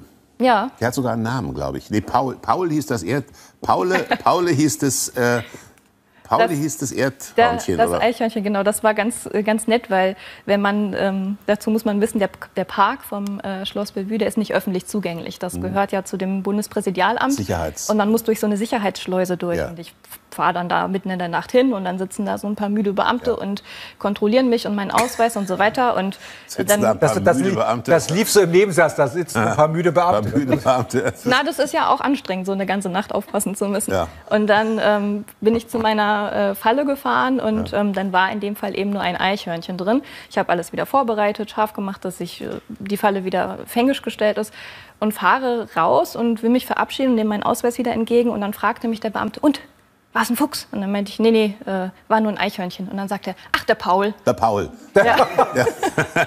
Ich habe wieder eine Frage. Ja, natürlich. Ja. Ist der Titel Ihres Buches von John Steinbeck abgeleitet? Tatsächlich ähm, mag ich das Buch, aber es ist nicht davon direkt Ist nicht? abgeleitet. Es ging tatsächlich eher darum, dass mir im Laufe des Schreibens immer mehr klar geworden ist, dass ich nicht nur über Füchse, sondern auch über Menschen schreibe. Äh. Und dass das irgendwie, und die Beziehung, die die beiden miteinander haben. Und irgendwie hat das besser gepasst als ein rein fuchsspezifischer Ja, ja. Titel. Aber die Frage ist äh, interessant und deine Antwort auch, weil wir unsere, unser Verhältnis zum Fuchs wie zum Tier ja ohnehin verändert haben. Wir haben das früher als das Wort Nutztier ist ja so ein furchtbares Wort. Aber wir haben durch die Verhaltensforschung gelernt, dass die Tiere eben auch traurig sein können, Angst haben. Wir sehen heute Tiere anders. Sicherlich eine Sache, die du begrüßt. Ja. Ja, mit Sicherheit. Also auch weil ähm, das kann natürlich auch manchmal so ein bisschen über die Stränge schlagen und es wird auch viel romantisiert und so weiter. Ähm, das, da muss man auch ein bisschen aufpassen. Aber weg von diesem reinen Utilitarismus, in dem alles nur dafür da ist, den Menschen zu dienen, Ja. ähm, ist auf jeden Fall eine Weiterentwicklung, die uns auch hilft, diesen Planeten und die Arten, von denen ja viele massiv bedroht sind, besser zu schützen. Weil nur wenn wir uns da reinversetzen können und auch verstehen, dass auch andere Lebewesen komplex und wertvoll sind und Ja. so komplexen Emotionen fähig und so, dann können wir Empathie empfinden und vielleicht hilft uns diese Empathie endlich bessere Entscheidungen zu treffen für unsere Umwelt. Und nicht so viele Tiere zu essen. Ähm, du hast 17 Füchse mit einem GPS-Halsband ausgestattet, sozusagen. Wie viele leben davon noch? Tatsächlich weiß ich es nur von einer, dass sie noch lebt. Ähm, die meisten sind im Laufe des Projekts tatsächlich gestorben. Weil sie überfahren werden. Ja. Weil sie Geschwindigkeit falsch einschätzen von Autos. Das wundert eigentlich, weil sie so geschickt und, und raffiniert wirken. Aber schnell fahrende Autos können sie nicht, ähm, nicht, äh, nicht einschätzen. Ne? Sie treffen so eine Art falsche Bewertung der Risiken. Also sie meiden den Menschen überall und schreiben dem Menschen relativ hohes direktes Risiko zu. Deswegen meidet der Fuchs dann, wenn er irgendwie eine längere Strecke zurücklegen möchte, die Wo- Anwohnerstraße, weil er da Menschen begegnen könnte. Ja. Und stattdessen nimmt er die S-Bahn-Trasse. Und die ist natürlich viel gefährlicher. Na klar. Aber dadurch, dass keine Menschen da sind, glaubt er zumindest, sie wäre sicher. Jetzt wird spannend. Der Jörg wohnt eher am Stadtrand und ich wohne eher in der Stadtmitte in Hamburg. Das heißt, wir erleben mit unseren Familien völlig andere Füchse. Ich habe gelernt durch die Lektüre deines Buches, es gibt den Landfuchs, der die Stadt verschmäht, und es gibt den Stadtfuchs, der das Land verschmäht. Und die mischen sich auch nicht. Das stimmt doch, ne? Ich habe das für Berlin untersucht, ja. Ob es das Ja. in jeder Stadt so ist, kann ich Du meinst, nicht der sagen. Hamburger Fuchs hat sich, ist da, ist da ein bisschen Der macht sich stadtfein, weißt Ja. du? Der geht auch mal in die Stadt. Ja, ne, so. Ja, aber für, in Berlin ist es so, ne? Genau, ich habe genetische Untersuchungen gemacht, Ja. bei denen ich eben geschaut habe, ob sich das Erbgut zwischen den Füchsen im Umland äh, von Berlin in Brandenburg und innerhalb der Stadt unterscheidet. Und da sieht man dann eben ganz schön, dass die Stadtfüchse sich offensichtlich mehr untereinander paaren als mit ihren Kollegen im Umland, weil sich eben genetische Unterschiede entwickeln. Ja, Der Stadtfuchs hat ja auch eine ganz andere Perspektive. Der hat ja eine ganz andere, äh, der hat ein ganz anderes Nachtleben auch als der Landfuchs. Ne? Also- äh, wenn, der, wenn der Landfuchs in die Stadt möchte, fährt der Bus. Also was fand ich besonders komisch in, äh, zu erfahren in der Recherche, dass ähm, Füchse versuchen, den, den Nahverkehrsbus zu nehmen für die Überwindung größerer Strecken. Ich glaube, gezielt einsetzen tun sie es nicht, aber es kommt halt immer wieder vor tatsächlich in der Stadt. Allerdings würde ihn tatsächlich eben gerade nicht der Landbu äh, Landfuchs benutzen, weil die haben nämlich noch mehr Angst vor Menschen und meiden ihn. Und das macht eben gerade den Stadtfuchs so ein bisschen aus, dass er einfach ein bisschen tougher ist und ähm, Da- mit da- diesen Reizen besser umgehen kann. Da ist ein Fuchs in den Bus gestiegen, um das mal deutlich zu sagen. Oder was hat er gemacht? Genau, also es gibt ein relativ bekanntes Foto, sozusagen, was die BVG getwittert hat und viel Resonanz bekommen hatte, wo ähm, drei Füchse an der Bushaltestelle und stehen, zwei stehen draußen Hintereinander. und warten quasi in Reihe und Glied und der erste steht schon vorne im Bus Nein. und guckt Ja. den Busfahrer an. Alle Schwarzfahrer. Das, ähm, das hat sehr viel ähm, Resonanz bekommen und es gibt auch aus allen möglichen Städten auch Berichte von Füchsen, die halt in der U-Bahn sind und so weiter. Das ist aber natürlich kein gezieltes Nutzen vom öffentlichen Nahverkehr, sondern die erkunden halt und dann Die landen sie halt eben auch mal in der U-Bahn oder in einem Bus. Woher kommt es eigentlich in den äh, Märchenbüchern, Jörg, die wir früher gelesen haben? Immer. Da wird ja der Fuchs immer als listig, Listig. und aber auch nicht unsympathisch. Nein. Also auch es gibt ja so auch Banken haben oft äh, geworben, sei also sei der Sparfuchs, Sparfuchs. und so. Wie- Woher, woher kommt es, dass wir dem Fuchs diese Charaktereigenschaften attestieren, schon in Kinderbüchern? Es ist ja sehr ambivalent. Ne? Also es ist Ja. irgendwie Bewunderung und gleichzeitig Listigkeit ist ja jetzt nun kein feiner Charakterzug oder ver, also verschlagen zu sein. Ähm, ich denke, das hat so ein bisschen was mit der Fuchs-Mensch-Geschichte zu tun, weil der Fuchs eben lange auch ein Konkurrent war um Nahrungsnutztiere sozusagen, um Geflügel und damit eben auch einen schlechten Ruf hatte. Dann hat er sehr lange die Tollwut übertragen, vor der viele Menschen Angst hatten, ähm, die zum Glück übrigens ausgerottet ist in Deutschland, das Ja. muss man noch mal ganz klar sagen. Ähm, und auf der anderen Seite ist er aber eben schön und er ist irgendwie faszinierend, wenn einen diese gelben Augen anschauen. Und es ist ja wirklich einfach ein sehr ästhetisches Tier und Menschen Unbedingt. mögen schöne Tiere. Ja. Ähm, und irgendwie ist man dann eben hin und her gerissen als Mensch. Und Ja. Ähm, ich denke, dieses ambivalente Image, das trägt er eben einfach schon immer mit sich herum. Du hast eben beiläufig äh, erwähnt, dass die Tollwut, dass er kein Übertrager der Tollwut sei. Das ist aber die ganz zentrale Angst von ganz vielen Menschen. Äh, das ist, also du sagst, etwas, was sich hartnäckig hält, ein Gerücht, was aber nicht stimmt. Er, er ist theoretisch ein Überträger Ja. der Tollwut. Das hat er auch lange getan, aber man hat durch Impfen ähm, die Tollwut beim Fuchs ausgerottet, durch gezielte Impfkampagnen. Mhm. Und dadurch gilt Deutschland seit 2008 als tollwutfrei. Und es gibt auch andere Regionen, Berlin zum Beispiel hat schon seit 96 keine Tollwut mehr. Davor muss man sich also wirklich nicht mehr fürchten. Wir kennen es ja vom Wolf, der wiederum in unseren Märchen als der böse Wolf äh, attestiert wird. Das kriegt er ja auch nicht los. Und äh, dennoch wechselt ja das Image eines Tieres in der Betrachtung der Menschen über die Jahrzehnte und die Jahrhunderte. Heute gibt es viele Initiativen, die den Wolf auch wieder versuchen heimisch zu machen und so weiter. Hat sich denn der Blick auf den Fuchs verändert von uns Menschen in den letzten Jahrzehnten? Ich denke schon, ja. Also durch ähm, diese generelle Wandlung im Naturbild ähm, Mhm. und dem Wissen darüber, ähm, über die Komplexität von Tieren, ähm, hat sich auch, davon hat auch der Fuchs profitiert. Und tatsächlich ist er auch so ein bisschen ein, ein Modephänomen. Also man sieht ja überall Fuchsprints auch auf Kleidung, auf irgendwelchen Ja. Alltagsgegenständen und so. Und damit wird er irgendwie präsenter bei den Menschen. Also wir haben auch eine Umfrage gemacht, eine repräsentative unter der Bevölkerung, ähm, wie die Menschen den Fuchs so sehen. Und tatsächlich ist ein Großteil der Bevölkerung dem Fuchs gegenüber sehr positiv eingestellt. Also Der Fuchs war nicht für dich nicht nur ein Studienobjekt, sondern auch ein, äh, ja, ein Tröster in schwerer Zeit. Ähm, wenn du darüber sprechen magst, äh, warum war es so? Ich hatte nach meinem Studium ähm, angefangen, nach einer Doktorandenstelle zu suchen. Das Ja. ist so der nächste Schritt auf dem Wissenschaftsweg. Wenn der Master fertig ist, dann kommt der Doktor. Ähm, und dann bin ich krank geworden und hatte eine sehr schwere Krebserkrankung. Ja. Und ähm, auch, da war ich 26 und es war auch so, dass ähm, für mich nicht ganz klar war, ob ich noch 27 werde und ähm, ob ich noch äh, viel sehe von der Welt. Und ähm, nach einem relativ einer heftigen Chemotherapie und einem relativ kurzen, aber heftigen Kampf ähm, kam dann sehr abrupt plötzlich diese Doktorarbeit, weil ich habe diese Stelle gesehen und ich hab, fand das so spannend, dass ich mich bewerben wollte, obwohl ich eigentlich dazu körperlich noch nicht so richtig in der Lage war und wurde dann zum Glück auch genommen. Und ähm, dann bin ich eben von diesem, von diesem dieser Pause in meinem Leben, diesem allem runtergefahren auf, auf Überleben, in so ein Projekt äh, gestolpert, in dem ich plötzlich nur Abenteuer hatte, von morgens bis abends. Ich hatte so viel zu tun, ich war so viel im Feld, ich habe so viele faszinierende Menschen auch getroffen im Laufe dieses Projekts. Und es gab auch mal so einen, so einen Schlüsselmoment, wo ich wirklich ähm, im Feld saß und ähm, einen Fuchs beobachtet habe. Und ich hatte an dem Tag irgendwie morgens ähm, einen, einen Künstler kennengelernt und ähm, irgendwie mit allen möglichen Leuten gesprochen. Es war wieder so ein Tag, der einfach total ereignisreich Schön war war, und bewegend und so. Und ich saß da und habe dieses Bild vor mir gehabt und habe einfach nur gedacht, das hättest du verpasst. Ja, ja. Also ich darf dir sagen, wo steht die Doktorarbeit jetzt? Bist Die du, ist fertig.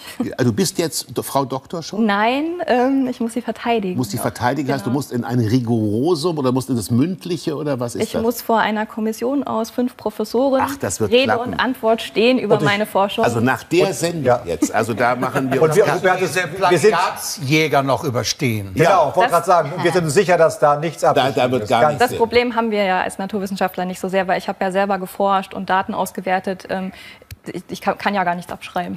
Du musst nur gucken, wer hinterher bei dir abschreibt. Und der sitzt meistens in der Politik. Stimmt. Sophia, das war ein sehr spannendes Gespräch. Du hast uns die Welt der Füchse eingeführt. Vielen, vielen Dank. Sophia König.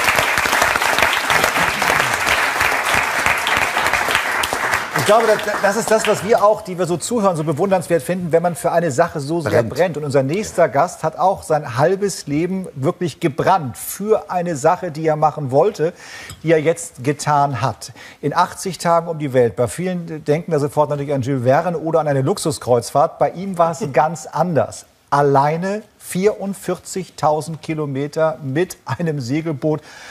Und das auch noch bei der Regatta, also sprich, es ging um Geschwindigkeit um die Welt. Er ist bei uns, Boris Herrmann.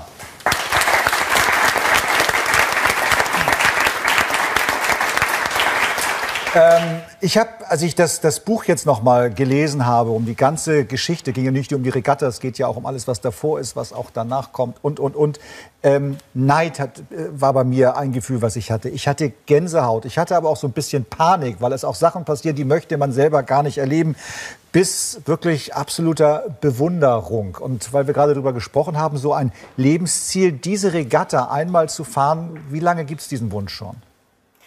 Ich glaube ungefähr 16 war ich, als ich ähm, mit Faszination äh, Filme gesehen habe, Bücher gelesen habe über diese Regatta. Und ähm, dann hat man noch nicht so ein Ziel, dass man denkt, das will ich jetzt, äh, oder, oder gesteht sich ja auch nicht zu. Man, so, ein, so ein Traum entsteht über die Jahre und, und, und konkretisiert sich. Und, ähm, und, und dass man dann wirklich sagt, ich will das unbedingt, das war vielleicht dann die, die, die, die letzten zehn Jahre, wo das ein konkretes Projekt war. Man muss es sagen, man kann nicht einfach sagen, ich fliege, äh, fahre da nächstes Jahr mal mit, sondern das ist eine Vorbereitung, das ist ein Hochleistungssport, das ist Hightech, alles was dran ist. Aber gucken wir vielleicht erstmal auf dem Globus. Wir haben es parallel auch vorbereitet als, als, als Video. Von wo bis wo ging diese Regatta?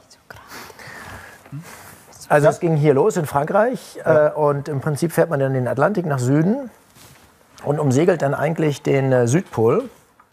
Also kommt hier im Atlantik im Süden raus, fährt dann immer nach Osten, weil hier unten meistens Westwinde sind, äh, um, umrundet die Antarktis und kommt dann äh, an Kap Horn wieder raus und fährt dann im Atlantik wieder nach Norden. Also zweimal ein Cup im Grunde rum, was, wo ja jeder Segler schon, schon, schon Angst davor hat. Ist eigentlich bei der Vorbereitung, das ist ja jetzt ein Jahr her, dass es kurz davor war, dass es losging überhaupt, auch mal im Vorwege Angst, schaffe ich das, mir könnte was passieren, es ist ja auch nicht ungefährlich. Gibt es sowas wie Angst? Ja klar, Angst äh, hat man äh, ja im Leben immer, äh, oder ich zumindest, wegen aller möglichen Dinge. Äh, vielleicht ähm, bei der Schulprüfung, beim, beim, beim Fernsehauftritt, vielleicht jetzt nicht heute, aber bei, bei allen möglichen Dingen. Und äh, hier natürlich die, die, die, die, die stärkste Angst ist, dass irgendwas schief geht, dass man diesen Traum und auch dieses Projekt, in das man selber, aber das, das ganze Team, alle Unterstützer so viel Arbeit gesteckt haben, das ist dass das irgendwie nicht zum Ziel äh, kommen kann, dass man vielleicht nicht die Strecke schafft und dass man, dass man einfach nicht ankommt. Und äh, das ist die eigentliche Angst. Die Angst ist jetzt nicht, äh, dass die große Monsterwelle, das würden Sie ja natürlich jetzt am liebsten hören, dass da die 10 Meter Welle über mir zusammenbricht und äh, ich dann vor Angst zitternd am Boden liege oder die Meeresschlangen vor mir aus dem Meer kommen oder sowas. Ähm, also diese, diese Angst ist eher die Angst, äh, einfach nicht den, zum sportlichen Erfolg zu kommen. Aber man muss ja mal sagen, man ist dort draußen komplett alleine, alleine auf einem Boot. Es wird nachts und wir wissen, wenn kein Licht da ist, ist eine Nacht stockdunkel. Du bist auf dem Boot, du kannst dich nicht in eine Koje legen, sagen, ich schlafe jetzt mal acht Stunden, sondern du musst ja die ganze Zeit im Grunde genommen in Hab-Acht-Stellung sein. Und dann, wenn dann solche Wellen kommen, und es sind ja Stürme da gewesen, was waren die maximalen Windstärken, die Sie erlebt haben? Ja, ich, und Beaufort-Skala kenne ich mich gar nicht so aus, aber der, wir hatten ja so einen, äh, am Anfang fuhren wir hier runter an Madeira vorbei, da hatten wir dann einen tropischen Wirbelsturm, Theta hieß der, äh, der da auch zu einer ungewöhnlichen Jahreszeit aufkreuzte und der hatte Windstärken bis zu 12 Beaufort in der, im Zentrum. Die hat, das haben wir dann gemieden, da sind wir drum rumgefahren. Und dann ist es das, das, das Vertrauen in das eigene Können, ins Material, dass man dann auch keine Angst hat, dass da was passieren könnte? Doch klar, ich hatte dann Angst, äh, dass äh, man hat immer zwei Ängste. Die eine Angst ist, das Rennen nicht zu beenden, die andere Angst ist, das Rennen nicht zu gewinnen. Und das, das beide steht, steht im diametralen Gegensatz. Äh, man kann das Rennen nur gewinnen, wenn man es beendet. Äh, man kann das Rennen aber nur beenden, wenn man auch vorsichtig genug segelt. Wenn man aber zu- vorsichtig segelt, kann man es nicht gewinnen. Also, D- das ist dieser innere Wettstreit, den man die ganze Zeit während dieser Regatta hat. Und bei diesem Sturm war es so, dass der schnellste Weg wäre direkt durchs Zentrum, hätte di- direkt durchs Zentrum geführt. Hier die relativ am Anfang, am Ende der ersten äh, Woche des Rennens, ähm, äh, hätte man das Rennen eigentlich für sich schon entscheiden können, wenn man einfach mutig durch die, ins Zentrum gefahren wäre. Aber mutig ist eine zweischneidige Sache. Das heißt auch, das Material zu riskieren. Und äh, dann kann auch alles sofort zu Ende sein. Und das riskiert man nicht nach zehn Jahren äh, harter Arbeit an so einem Projekt. Dann fährt man, dann halst man, fährt weg von dem, fährt 90 Grad zur eigentlichen Kurslinie, fährt erstmal ein, zwei Tage weg, fährt einen riesigen Bogen. Das hat die, die Mehr- Mehrzahl der Flotte dann auch so gemacht. Wir haben auch ein paar Bilder. Wir können auch darüber gerne sprechen, damit man mal ein Gefühl bekommt, was war da eigentlich los, wie läuft das eigentlich? Sagen Sie einfach was dazu. Hier sind die Bilder.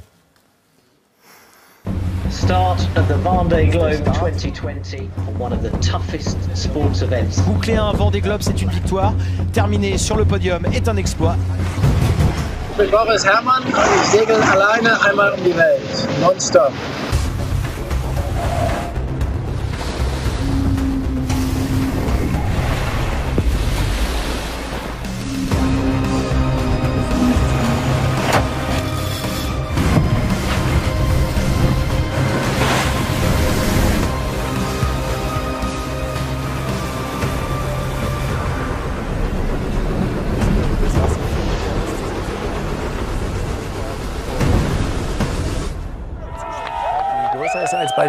Bei, einer typischen Handelsflotte, bei diesen ähm, Containerschiffen, die auch funktionieren. Wahnsinn. Oh. Wie, wie kann ich mir denn so. Ja, was? Kann so ein Ding umkippen, so ein Boot? Das kann auf die Seite gekippt werden durch den Wind, hat aber unten einen Kiel mit Gegengewicht und richtet sich dadurch im besten Fall wieder auf. Wenn jetzt eine riesige Welle kommt, könnte es auch über Kopf gedreht werden. Dann kann man von innen den Kiel zur Seite schwenken und das Boot dann wieder Ist dir das mal passiert? äh, zurückdrehen. Wenn sowas passieren würde, dann wäre garantiert der Mast kaputt oder abgebrochen und das Boot dann schwer äh, beschädigt. Ähm, Und das würde eigentlich nur dann passieren, wenn man wirklich in die Mitte von so einem ganz schlimmen Sturm fahren würde, wo riesige Wellen brechen und sozusagen äh, dann wirklich das Schiff so überrollen. Und äh, wir sind, die Schiffe sind aber recht schnell. In der Schule. Okay. Wie der Schule hat. ähm, Ich habe auch noch Ja. mal eine Frage. Ja, bitte. Mache ich gut, ne? Super. Das, das kenne ich nämlich von der Schule. Man muss, wenn ein neuer Lehrer kommt, direkt eine Frage stellen, dann hat man für den Rest der Stunde Ruhe.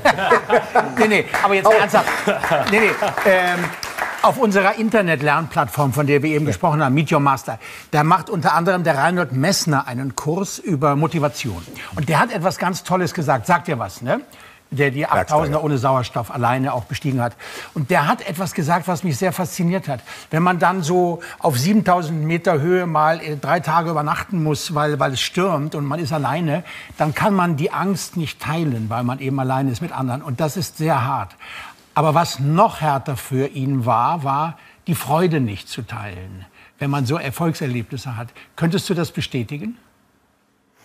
Eigentlich nicht, denn ich bin zwar physisch alleine auf diesem Boot, aber viele Menschen begleiten mich ähm, und, ich, und ich spüre auch deren Energie irgendwie. Und ich kann Ja, so- so, du, du empfindest durch- es. Ich Ja. kann, wir haben so ein Satellitenfunksystem auf diesem Schiff und ich kann Videos auch schicken, au- selber aufnehmen, in die Kamera sprechen und kann unmittelbar teilen, was Okay, passiert. okay, okay. Dann ist das ein bisschen was anderes. Ja, man, man muss wirklich sagen, das war ja auch ähm, ähm, online alles wunderbar zu begleiten. Das war ja wirklich, man war elektrisiert, wenn man sich diese Bilder angeschaut hat. Wir sehen hier ein Bild, da sitzt du in deinem Boot. Das ist dein Arbeitsplatz. Kann man sich das so vorstellen? Ja, genau. Man, es geht bei einem Rennboot immer darum, dass es auch möglichst leicht bleibt. Äh, Und äh, deswegen gibt es dort keine Sofaecke oder solche Dinge, äh, keinen kein, Das ähm, keinen großen Komfort. Das ist diese kleine Topfpflanze hier, dieser kleine Kaktus war sozusagen so ein kleines Zugeständnis, dass man sich erinnert, dass man irgendwo auch noch ähm, Mensch ist. Und eine kleine Flasche Whisky gab es irgendwo in der Ecke, dass man dann an Cap Horn sich so einen kleinen Schluck, natürlich auch nautische Tradition. Das ist die Schlafposition dort. Aber wie lange konnte man, konntest du maximal schlafen?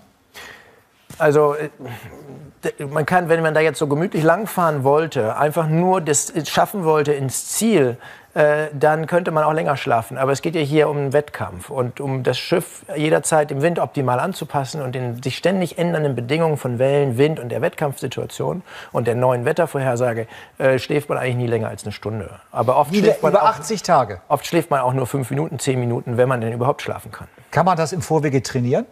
Ja, ja. ähm, ich habe das schon, ich habe ja schon vor, vorher viel gesegelt und auch schon äh, als Jugendlicher, da musste ich mal irgendwann äh, Zivildienst machen und habe dann äh, meine Zivildienststellenleiterin gebeten, ich, äh, oder habe ihr gesagt, ich bereite mich vor auf ein Rennen, das ist nach dem Zivildienst, findet das statt, will habe schon das Boot vorbereitet und ich möchte gerne mein Schlaftraining machen und muss, ich kann gerne abends länger bleiben, aber ich muss dreimal am Tag 20 Minuten schlafen, um das zu üben. Das wurde dann nicht, nicht so positiv aufgenommen. Deswegen war dann meine Notlösung bei meinen ganzen Fahrdiensten zu versuchen, an der roten Ampel einzuschlafen, bis Autos hinter mir aufwecken. Aber das kann man wirklich trainieren durch autogenes Training und Selbsthypnose, zu versuchen, in kürzester Zeit einzuschlafen. Das heißt, über 80 Tage nie länger als eine Stunde am Stück geschlafen. Da mal ganz deutlich. So, Aber es gibt doch diese Folter, wo man immer wieder aufgeweckt Ja. wird, Ja. wenn man gerade einschläft. Ne? Also das ist ja extremst ungesund eigentlich. Ne? Wir sind als Menschen polyphasische Schläfer, hat mir mein Schlafarzt damals schon äh, einen Vortrag gehalten. Äh, es ist ja auch ganz kurios. Es gab auch heißt in der das? Geschichte, Was also dass man, viel, dass man von der Genetik her, wir früher als Jäger und Sammler waren jederzeit bereit, in, in unserer Evolutionsgeschichte wegzurennen vor Gefahren. Und äh, wie andere Tiere, Füchse auch, Katzen und so weiter, ich weiß nicht, Sie sind Biologin, Sie können das vielleicht besser erklären. Äh, ähm, das Säugetier mit der kurzen, kürzesten Schlafphase ist irgendwie so ein Flussdelfin in Vietnam, der in den Stromstellen ständig aufpassen muss, nicht wegzutreiben. Der kann dann so ein paar Sekunden schlafen. Nee, aber wenn wir mehr als 15 Minuten schlafen, dann kann es äh, regenerativ sein. Das können wir über sehr lange Zeit durchhalten, ohne unsere Leistungsfähigkeit zu behalten. Wie sieht denn Bordservice aus? Darf ich noch eine Sache Ja. sagen? äh, könntest du dir vorstellen oder hast du mal, während du da so gesegelt bist, an die alten Wikinger gedacht? Also mit so einem Boot so eine Tour zu machen? Hast du mal dran gedacht? Ich meine, die haben das. Tor Heyerdahl. So, irgendwie so, mit so kleinen ja, Holzbooten. Tor Heyerdahl. Tor Heyerdahl, ja Hast du mal, äh, hättest du Lust, sowas mal zu machen? Na, gegenüber solchen äh, Haudegen, so stelle ich mir die vor, damals die Leute, äh, was ich besonders toll fand, waren Geschichten, die ich als Kind gelesen habe über Wikinger, die hatten Schleppbier. Wenn sie dann diese Wikingerboote über die Sandbänke bei Niedrigwasser sowas, zusammen rüberziehen mussten, dann gab es Schleppbier. Das hat schon damals gezeigt, äh, irgendwie Alkohol und Seefahrt, das hat immer irgendwie so eine gewisse zwingende Verbindung. Aber Insider haben mir gesteckt, dass du weniger Alkohol an Bord hattest als die französischen Mitsegler. Ja, ich weiß jetzt nicht genau, was die gemacht haben. Es ist eigentlich, ähm, es ist eigentlich eher verpönt, natürlich auf einem Boot was zu trinken, vor allem wenn man eigentlich bei so einem Hochleistungssport unterwegs ist. Aber für mich ist es eine Tradition. Es war meine vierte Weltumsegelung. An jedem Cup ist es die Route der drei Cups. Äh, Cup Horn ist das berühmteste dieser Cups. Das Cup der guten Hoffnung ist auch dabei. Äh, an diesem Cup gibt es einen kleinen Schluck. Es gibt auch einen Schluck für Rasmus. Das ist eigentlich unser Meeresgott hier im Norden. Äh, der allgemeine Volksmund spricht eher von Neptun. Für mich als Kind von der Nordsee ist es Rasmus. Äh, das ist auch der Gott der Wikinger gewesen. Äh, Und äh, man muss die Götter auch wohlgesonnen stimmen und deswegen auch immer einen kleinen Schluck ins Meer schütten. Super. Jetzt, ich habe gerade über Bordservice gesprochen, also Alkohol nein, nur mal einen kleinen Schluck.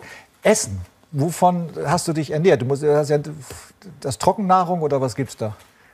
Genau, also es gibt, äh, wenn man jetzt, sage ich mal, in so einen Trekkingladen geht, um sich für so eine Wandertour vorzubereiten, kann man das Zeug da auch kaufen. Das sind solche Tüten, äh, die man aufreißt, heißes Wasser reingießt und das umrührt und dann rehydriert man gefriergetrocknetes Essen.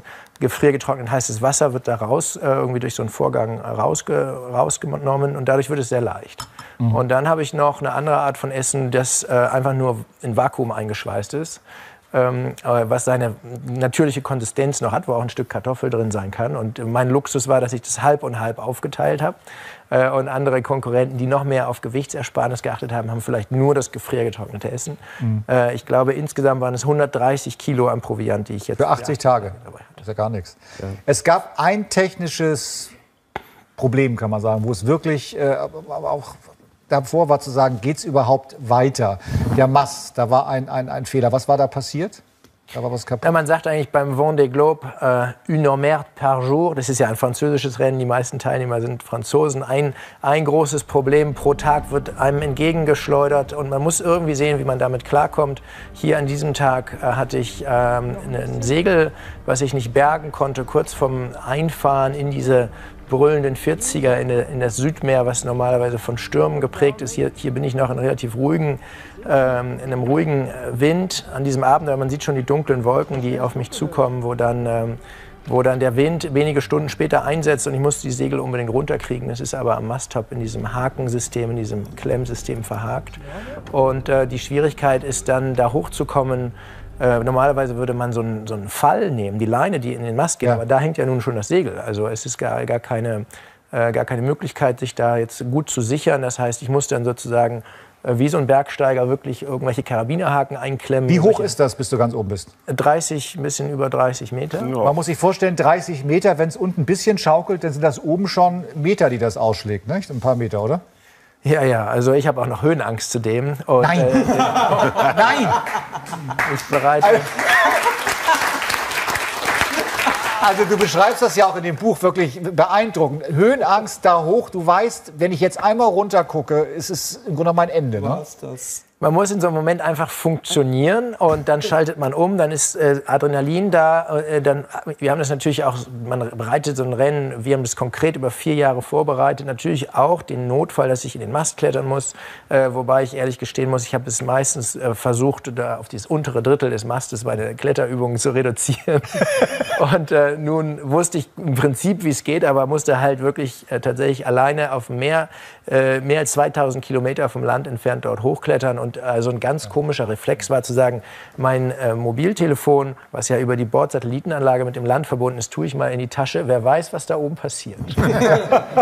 Gab Also es irgendwo mal einen Moment, wo du gesagt hast, ich hätte diese Reise vielleicht doch nicht machen sollen, wo die Angst so groß war, dass du gesagt hast, warum habe ich es gemacht?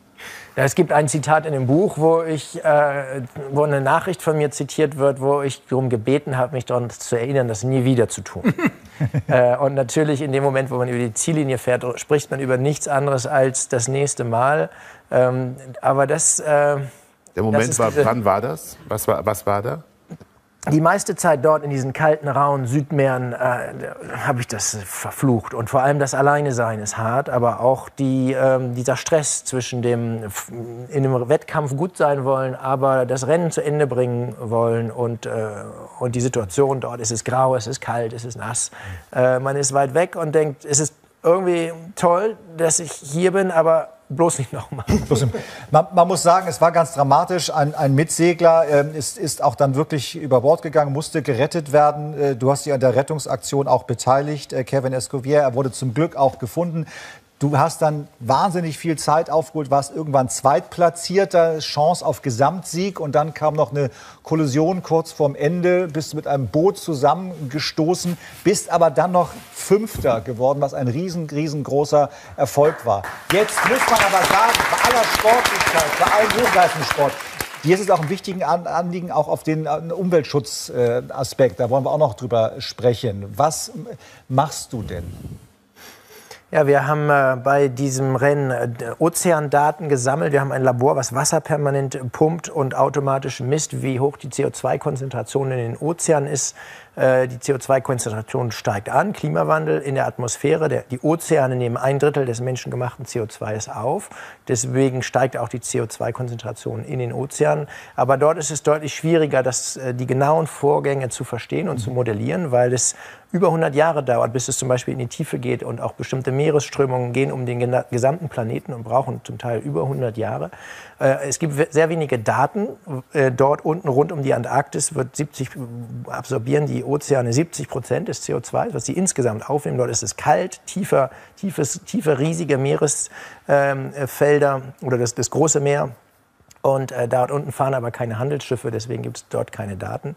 Und wir haben halt diese, diese Daten mitgebracht. Aber äh, außerdem äh, haben wir eine Art Botschaft mit unserer, unserem Boot verknüpft und auf die Segel geschrieben, äh, A race we must win, äh, Climate Action now. Wir sind in einem Wettlauf, Wettlauf. gegen die Zeit bei dem Thema Klimawandel und verknüpfen sozusagen diese Hilfestellung für die Wissenschaft mit, ähm, ja, mit dem Appell, mit dem Aufruf. Wir wollen inspirieren mit unserem Sportgeist, äh, auch vielleicht mit dieser Erfahrung zu merken, wenn man an so einen Traum glaubt und ihn sein Leben lang verfolgt, dann kann man auch das Unmögliche möglich machen und auch die größten Hindernisse überwi- überwinden. Du hast, du hast eine Tochter, die ist anderthalb Jahre alt. Was sagst du ihr denn, wenn sie in 10, 15, 20 Jahren ankommt und sagt, Papa, ich möchte bei dem Rennen auch teilnehmen? Also ich äh, würde es so handhaben, glaube ich, wie meine Eltern und äh, so, wie, so wie Sie das beschrieben haben. Bloß nicht sich den Träumen, Wünschen oder auch den äh, Ambitionen der Kinder in den Weg stellen, sondern sie dabei. Äh, Würden Sie es noch mal machen, das Rennen? Ich habe es vor, noch mal zu machen. Wir bauen gerade ein neues Schiff. Wir bereiten es gerade äh, vor, ähm, dort noch mal anzutreten. Wir wünschen viel Erfolg und äh, tolle Geschichte. Vielen, vielen Dank. Danke.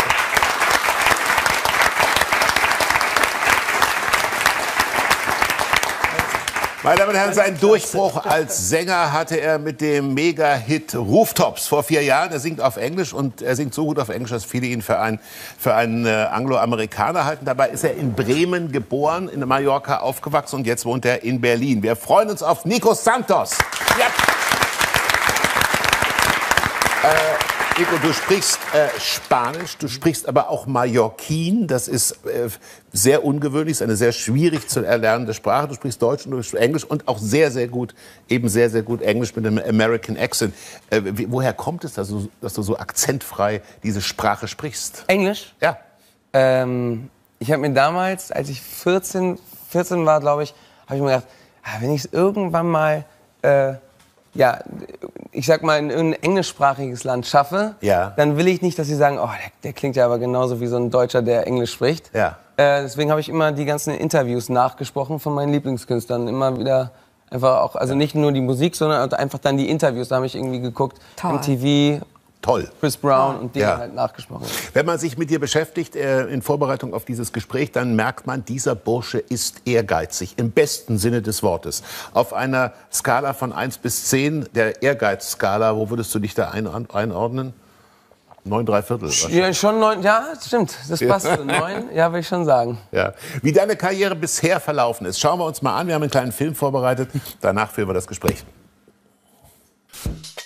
Dieser Mann kann sich glücklich schätzen, so gut in Sachen Passbild posen zu können, denn ein stets aktueller Reisepass ist bei ihm definitiv nötig.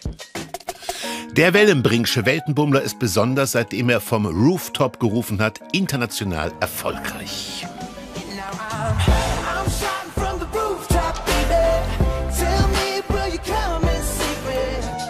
Als Musikerfamilien- und Militermann-Sohn kreierte der Mallorca Maniac früh eigene Klänge, zum Beispiel als Michael Jackson Double.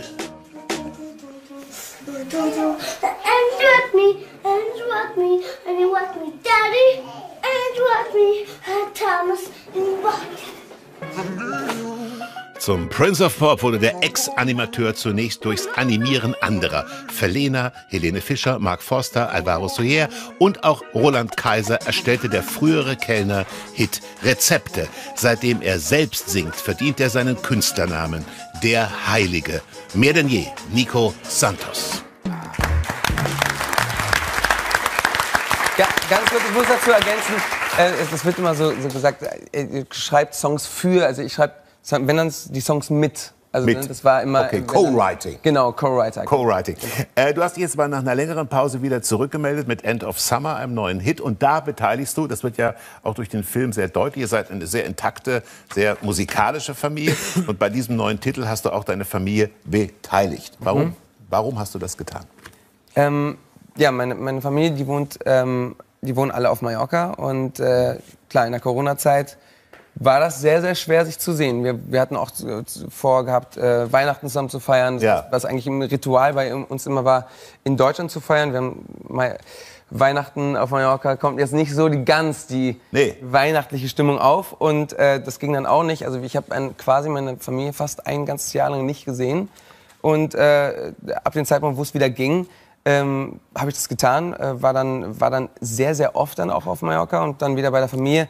Wir haben, wir haben damals schon äh, als Family äh, Musik gemacht, als The Valley Family. Ich, Ja. ne, The Valley Family. The Valley Family. Und äh, genau, haben, haben, sind durch, sind durch Dorf, äh, ähm, Dorffeste getingelt und haben So, Hotel ja. California oder äh, Knocking on Heaven's Door gesungen und so, als ich zwölf Jahre alt war. Und irgendwann dachte ich mir, wie schön das ist, wenn wir zusammen Musik machen, wie, wie schön das auch ist und wie sehr uns das noch mal mehr noch mal zusammen ähm, ja, zusammenbringt. Und äh, ja, das ist auch so schön irgendwie zu sehen, dass es gar keine Grenzen gibt. Mein Papa ist jetzt, äh, wird jetzt, ist jetzt 76. Äh, äh, Mama ist 18 Jahre jünger, meine Schwester ist drei Jahre jünger als ich. Das ist, es gibt keine Grenzen irgendwie, ne? Und, und Musik bringt trotzdem alle irgendwie zusammen. Ja, und äh, dein Vater, der wird ja immer so ein bisschen auf den Militermann reduziert, Mhm. wobei das ganz wunderbare Commercials waren damals in den 80er Jahren. Äh, aber er ist Musiker, hat mit Roy Black lange gearbeitet. Er ist übrigens aus dem niedersächsischen Wolfsburg, habe ich gesehen. Er ist ein echter Niedersachse. Deine Mutter ist Gitarristin. Und wie das so aussieht, wenn die ganze Familie jammt, da gibt es eine Dokumentation. Wir schauen uns das mal an. Das, äh, da merkt man richtig die Harmonie.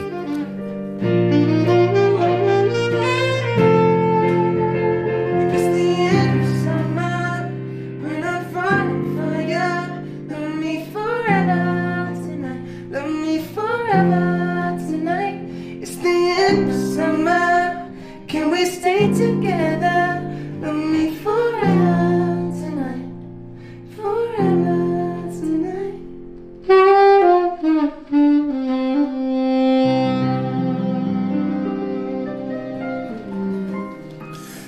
Schön.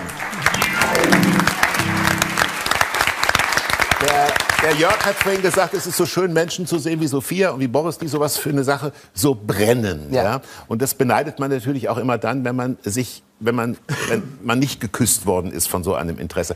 Gab es für dich äh, je einen Plan B, einen beruflichen Plan B? Nee, ich glaube, also nee, hat, hatte ich wirklich nie. Also seit dem Zeitpunkt, meine Eltern haben mir eine Michael Jackson Kassette gegeben, da war ich drei. Ab dem Zeitpunkt ähm, wusste ich, ich will nur das eine machen. Ja. Klar, als, als, als junger Sechsjähriger guckst du auch Fußball und willst Profifußballer werden, zwei Jahre lang. Aber, aber ich, ich, ich wusste auch, und das muss ich auch sagen, in unserer Schule ähm, war das auch, es, es, es war so, ähm, man wurde nicht zu etwas gezwungen. Damals, äh, oder einer meiner Klassenkameraden ist der Bruder von Marco Asensio, Ja. der jetzt äh, in Real Madrid äh, einer der erfolgreichsten Spieler ist. Es, es wurde immer das gefördert, was man am besten konnte. Und man, es wurde auch nie das ausgeredet oder mach mal lieber Abi und so. Also ich will das niemandem ausreden, und, äh, und, äh, aber, ich, ich, aber auf jeden Fall, diese, diese Talente wurden immer gefördert und Ja. es wurde auch nie irgendwie gesagt, ah, das glaubt nicht, dass das was wird oder so. Ja, Bedenkenträger gibt's immer. Ja. Äh, so, ne? Aber Heiner, gab es das bei dir? Äh, dass, Heiner, hattest du einen anderen Plan B beruflich, als du dich so orientiert hast, was man machen könnte? Ich wollte mit elf Jahren eigentlich Schauspieler werden auch. ja. Ja, ja. Auch später gab es nie einen ernstzunehmenden anderen Beruf, der dich interessiert hätte. Ähm, nicht wirklich. Hast du nicht eine Ausbildung gemacht oder hast du? Ja, ja, die habe ich meinem Vater zuliebe gemacht. Darf ich fragen, was war denn das? Was, was Installationslehre. Ich war drei Jahre dem Bau Ja. äh, und sollte ja diese Firma übernehmen von meinem Vater. Äh, aber das war irgendwie, ich bin da parallel schon zur Schauspielschule gegangen auch und so. Aber ich habe mal eine Frage. Ja, sehr gerne. Sag mal, wenn du, Nico, wenn du sagst, äh, du, du arbeitest mit Helene Fischer zum Beispiel an dem, an dem Song, was machst du da? Machst du da die Musik oder Text oder beides? Oder? Nee, also bei deutschen Sachen mache ich, mache ich keinen Text. Dafür bin ich wirklich zu unerfahren mit, mit, mit, mit der deutschen Sprache. Äh, das ist Komposition, ja. Machst du die Komposition? Genau. Ah, genau. okay, okay. Auch, also Super. Zum Beispiel mit Helene ist es äh, ein Beispiel. Also mit ihr habe ich noch nie, war ich noch nie wirklich in der, in, äh, im Studio. Ja. Ähm, ähm, zum Beispiel der, der neue Song, der jetzt rausgekommen ist auf Spanisch, also Vamos a Marte mit, mit Luis Fonsi. Der, der ist mir quasi zugeflogen. Den gab es schon auf Deutsch und da habe ich die spanische Übersetzung dafür gemacht. Ah, ja, okay. Ähm, und, und genau, aber, aber sonst, ja, ist, ist, man, ist man meistens drin und das war auch, viele Songs sind entstanden, bevor ich noch Künstler war. Da war ich quasi nur und da, da hat mir einer mal gesagt, als Tipp, ähm, ey, das wird super, super lange dauern, schreib einfach, schreib, sei unser Praktikant. Wir werden dich immer, immer irgendwo mit reinschleusen. Haben ja viele angefangen so, ne? Ja, genau. Ja. Und dann irgendwann nimmt man dich auch wahr als, als Teil des Ganzen. Das ist ein Vorteil, wenn man nicht Schauspieler ist. Der Schauspieler braucht immer einen Produzenten oder einen Theaterintendanten, der sagt, mach mal. Der Autor kann, oder der Maler kann schreiben und kann malen und eines Tages wird es vielleicht entdeckt. Das ist ein großer Vorteil. Was ich bei dir beeindruckend finde, du bist ja zwar aus einer sehr harmonischen Familie ähm, äh, erwachsen, aber Ja. du bist nach Deutschland gekommen und die Familie konnte dich finanziell nicht unterstützen.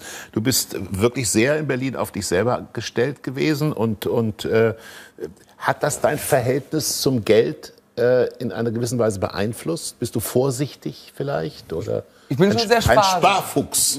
Ja, da ist er wieder, der Fuchs. Ja, ein. Sparfuchs. Nee, also ich, ich, ja, Aus doch. Berlin. Halb aus Berlin. Stimmt, stimmt. Ja. Ich habe übrigens sehr viele Füchse in meiner Straße. Äh, ich schon, ich würde schon sagen, ich bin sparsam, ja. Äh, gibt es irgendeines, äh, ich bin das auch immer so, aber es gibt dann so bestimmte Luxusbereich, wo man Ja. so, was das definiere ich dann für mich.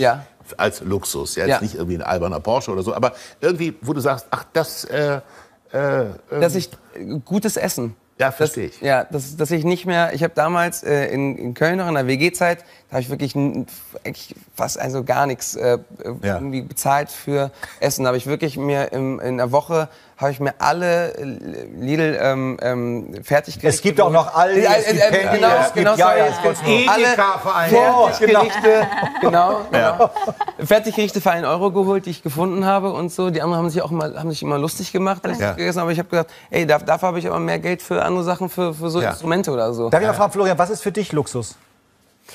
Äh, Luxus ist äh, für mich eigentlich schon das Wissen, dass ich jederzeit sehr viel von dem machen könnte, was ich mir in meiner Kindheit und Jugend nie erträumt hätte. Also das, das reicht mir eigentlich schon. Ich bin jetzt gar nicht so ein, so ein Luxustyp. Ich kaufe mal gerne einen neuen Anzug oder so und freue mich, wenn der sitzt. Aber äh, mehr ist da eigentlich. Ich bin, ich bin überhaupt kein, kein Typ für, für Besonderheiten oder so. Aber schon dieses Wissen zu sagen, ja, ähm, es geht mir so gut, dass ich da leben kann, wo ich gerne leben möchte und dass ich so leben kann, wie ich will, das, das reicht mir eigentlich schon. Das war in meiner Kindheit äh, nicht immer denkbar. Victoria, hast du sowas, was für dich wirklich Luxus Ich bin auch so wie ihr. Ich gebe viel Geld fürs Essen aus. Ich liebe gutes Essen. ist? Oh, wenn das, wenn das, oh, Frauen sagen, ich gebe viel Geld fürs Essen, finde ich toll. Ja, ich auch. Ja, ja. Das Tue ich aber auch. heißt ja nicht dass, zwingend, dass sie für andere, für, für Klamotten Doch. nicht viel... Nico, du bist im letzten Jahr äh, Coach bei der Musikshow gewesen, The Voice of Germany, gemeinsam mit Johannes Oerding, mit Sarah Connor, mit Mark Foster war auch noch dabei. Wer, wer war so der, die härteste Gegnerin, der härteste Gegner? Wer hat es dir am schwersten gemacht? Also die sind ja, das wird ja jetzt gerade quasi gedre- ged- gedreht. Ja, und äh, ich würde mal sagen, man kann die Show schon irgendwie um, umbenennen in Sarah Connor und die anderen drei.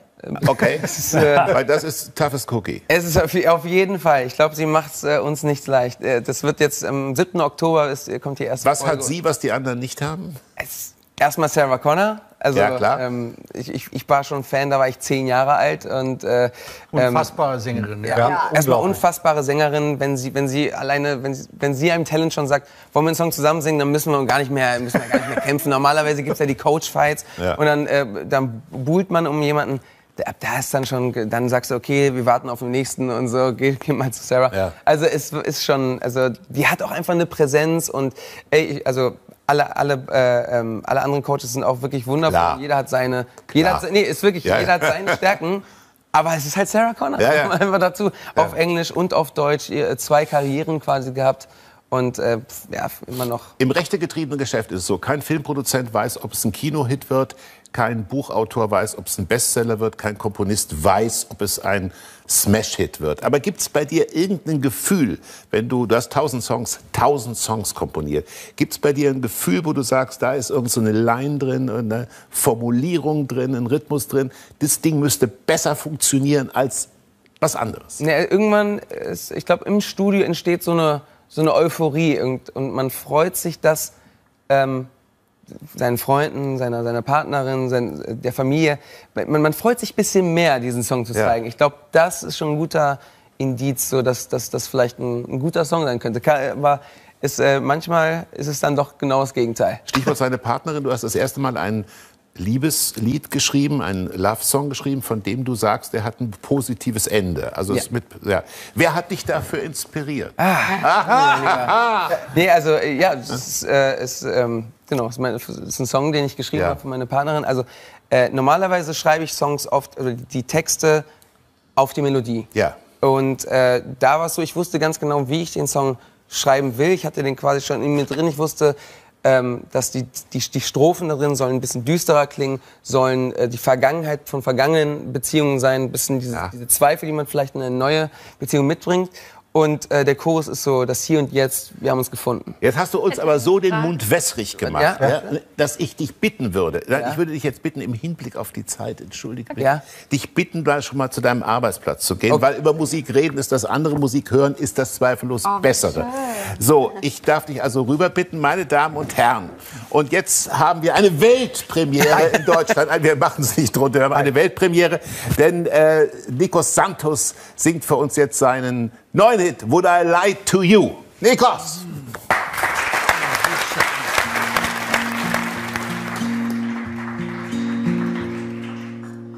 Shadow in the dark, shadow in the dark. I know what you've been through. Trouble in your heart, trouble in your heart. When no one's ever been to. I know you've been hurt before. I don't want you to hurt no more. Let me get to you. Every time you're down, lying on the ground, let me lie with you. Let me be around, let me be around. We all get our issues. I know you've been hurt before. I don't want you to hurt no more. Just remember when the world is crashing down, then I'll be here. Tell me what I lie to you. Tell me what I lie. And when I say I'll be around to dry your tears, tell me what I lie to you. Tell me what I lie. And when the world is crashing, would I lie, would I lie to you?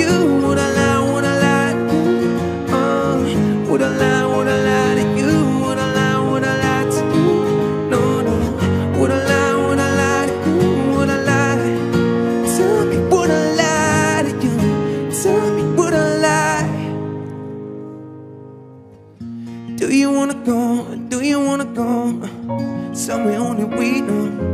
Never gonna play, promise you I won't. Love ain't no casino. Cause the day we open up is the day we learn to love. Let me get to you. Sundown, the stars come out. Come around, let me love you now. I want you to remember when the world is crashing down, then I'll be here. Tell me what I lie to you. Tell me what I lie. And when I say I'll be around to dry your tears, tell me what I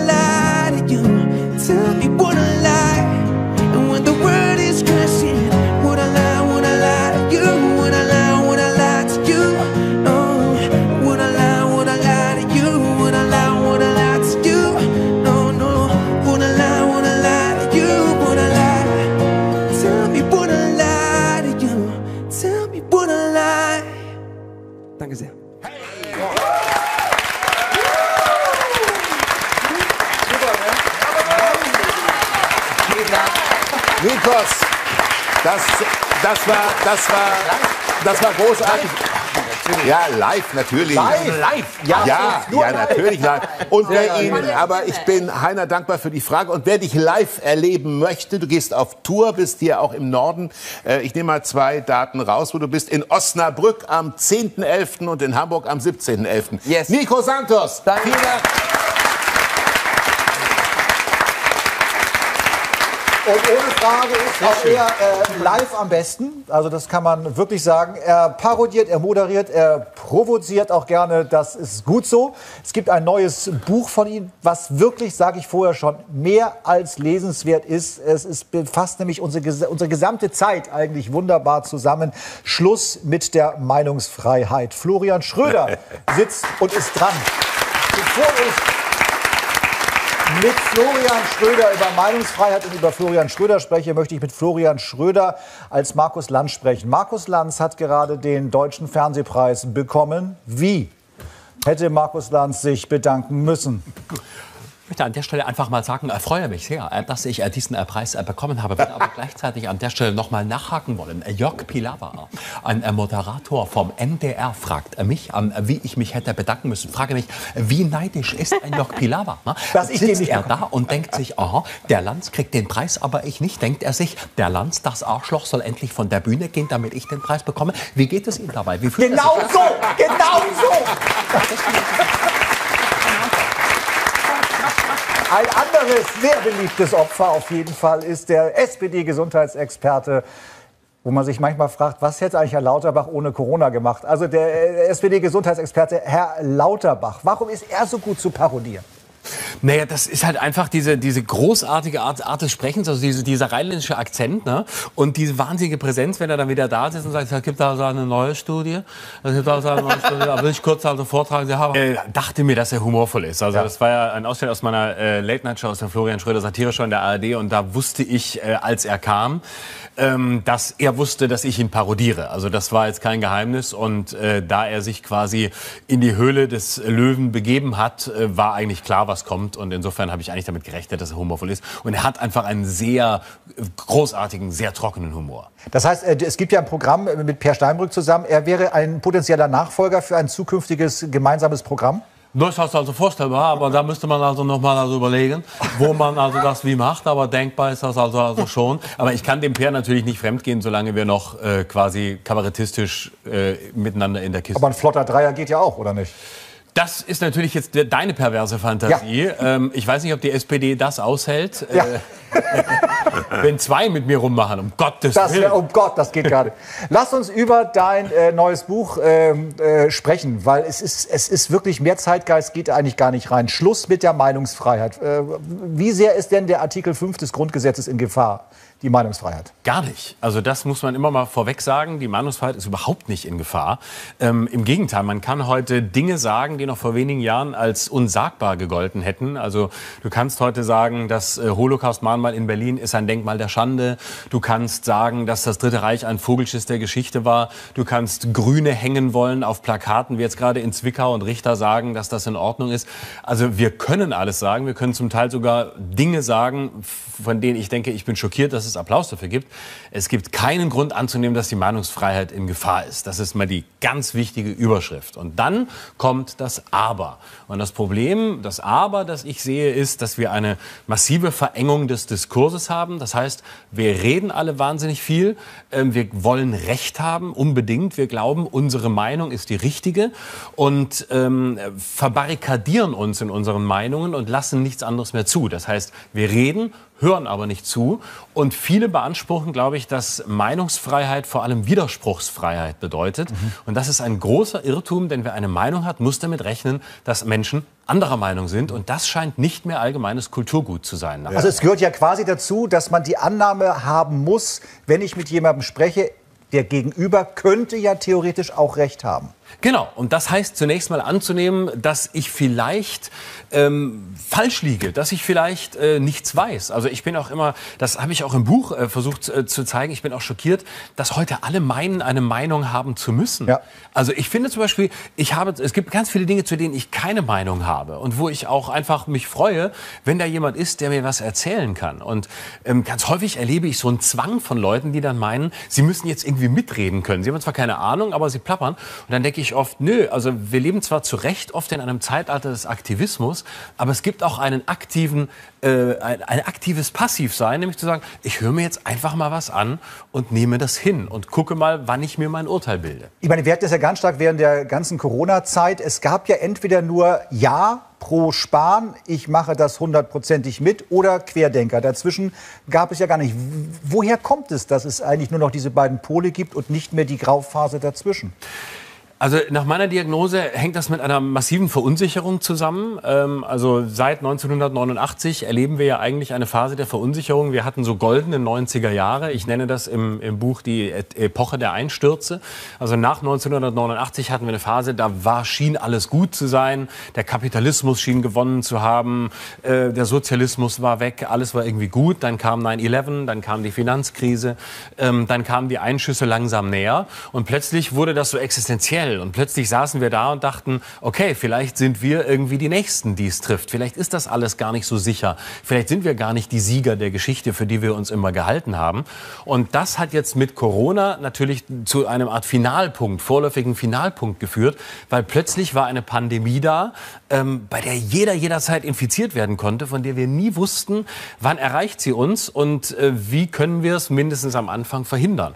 Und das hat zu so einer Verunsicherung geführt, in der wir vor allem den Eindruck haben, wir müssen uns ähm, sicher sein in unserer Meinung. Und wer anderer Meinung ist, der muss weg, der ist Feind, der ist böse, mit dem wollen wir uns nicht inf- infizieren. Wir wollen auf der Seite der Guten sein. Und ich habe immer das größte Misstrauen gegenüber denen, die glauben, auf der richtigen, auf der guten Seite zu stehen. Das ist immer das Schlimmste. Ich habe lange fürs Buch Attila Hildmann beobachtet und beschreibe den auch ausführlich, weil ich den, und zwar nicht, weil ich den, weil ich mich über den nur lustig machen will, sondern weil ich glaube, dass wir ungeheuer viel lernen können, wenn wir uns die Täter angucken, wenn wir die angucken, ähm, die uns die Zerspiegel unserer eigenen äh, Geschichte sind, unserer eigenen Personen. Was hast du von ihm gelernt? Ich habe von ihm, du kannst bei ihm zum Beispiel lernen, wenn, wenn du ihn anguckst, ich war auf mehreren Demos, habe ihn da beobachtet und wenn du dann zum Beispiel zurückguckst in seine Biografie, dann siehst du, das ist ein Mensch, der immer Guru war. Der war immer sicher, dass er damals noch als veganer Koch ähm, Recht hat, äh, dass seine äh, Rezepte nicht nur vegan und gut sind, sondern auch gesund, was wissenschaftlich so nie haltbar war. Aber es stammen von ihm Sätze wie, ich bin der Picasso ähm, der Küche. Ähm, es war immer das Bewusstsein, ich stehe auf der richtigen Seite der Geschichte. Und das ist immer im Zweifel die Abbiegung, dass du im nächsten Moment irgendwohin abbiegst, wo du denkst, da wärst du mal besser nicht hingefahren. Finde ich, finde ich einen ganz spannenden Ansatz, weil es hat natürlich auch im Umkehrschluss, wenn ich eine Position habe, von der ich glaube, dass sie richtig ist, löst es ja gegenüber immer etwas aus. Und da habe ich das Gefühl, es gibt nur noch zwei Reaktionsmöglichkeiten. Entweder Empörung oder Empfindlichkeit. Also Ja. es, ist, es, ist ja, es ist ja wirklich so, entweder ist man also völlig äh, down und sagt, wie kann oder so, oder man ist, man ist völlig empört. Ist, ne, also sind eigentlich nur diese beiden Reaktionen möglich. Ja, genau. Du hast auf der einen Seite äh, Empörung, also Empörung immer für die anderen, also immer draufhauen ähm, und Empfindlichkeit für sich selbst. Und das hängt ja zusammen. Ne? Also Menschen, die sich sehr stark empören können, halten ja meistens sehr wenig aus. Ne? Also wenn es mal auf die eigenen Kosten geht, dann ist ganz schnell Schluss mit lustig. Und das ist eine ganz gefährliche Entwicklung, die natürlich durchs Internet noch mal radikalisiert wird. ne? Das ist ja der Ort der Empörung. So funktionieren ja letztlich soziale Netzwerke. Es kommt das nach oben, was möglichst eindeutig ist, was möglichst klar ist, was möglichst radikal ist.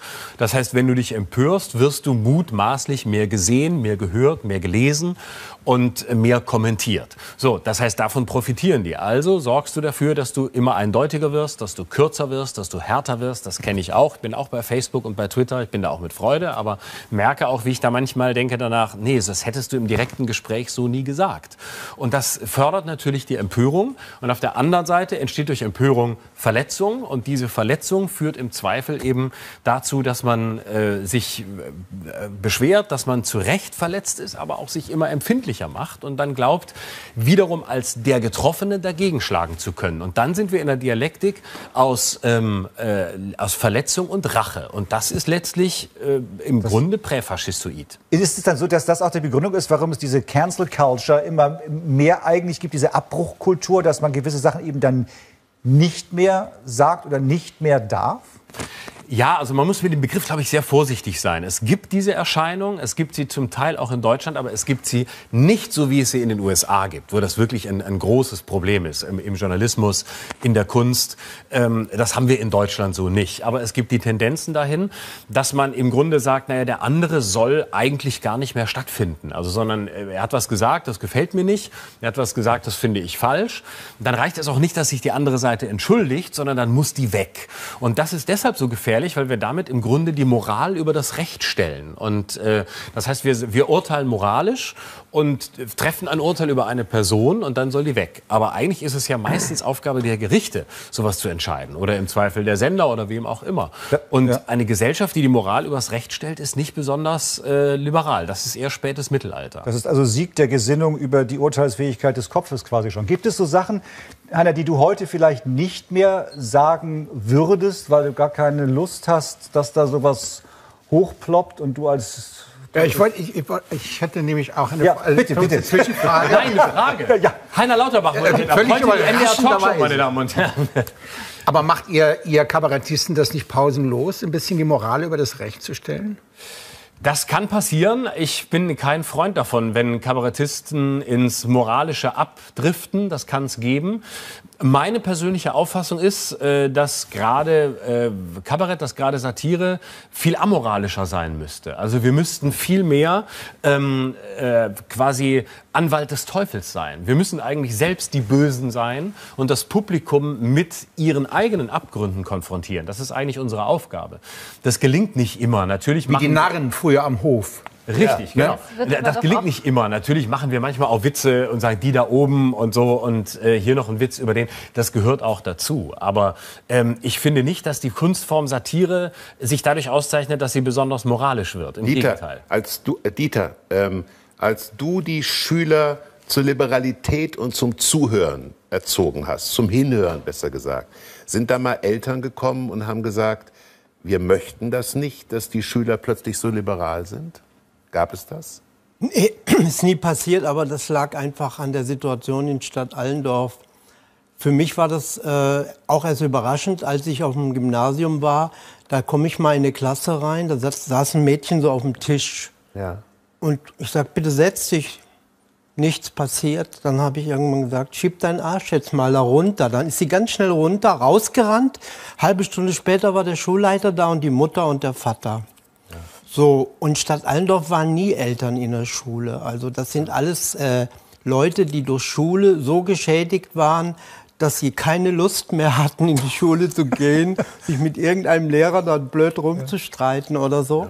Das heißt, am Anfang war ich schon sehr vorsichtig. Über Homosexualität zu reden, habe ich mich erst nicht getraut. Weil ich dachte, ja, dann brauche ich eine Bodyguard oder so.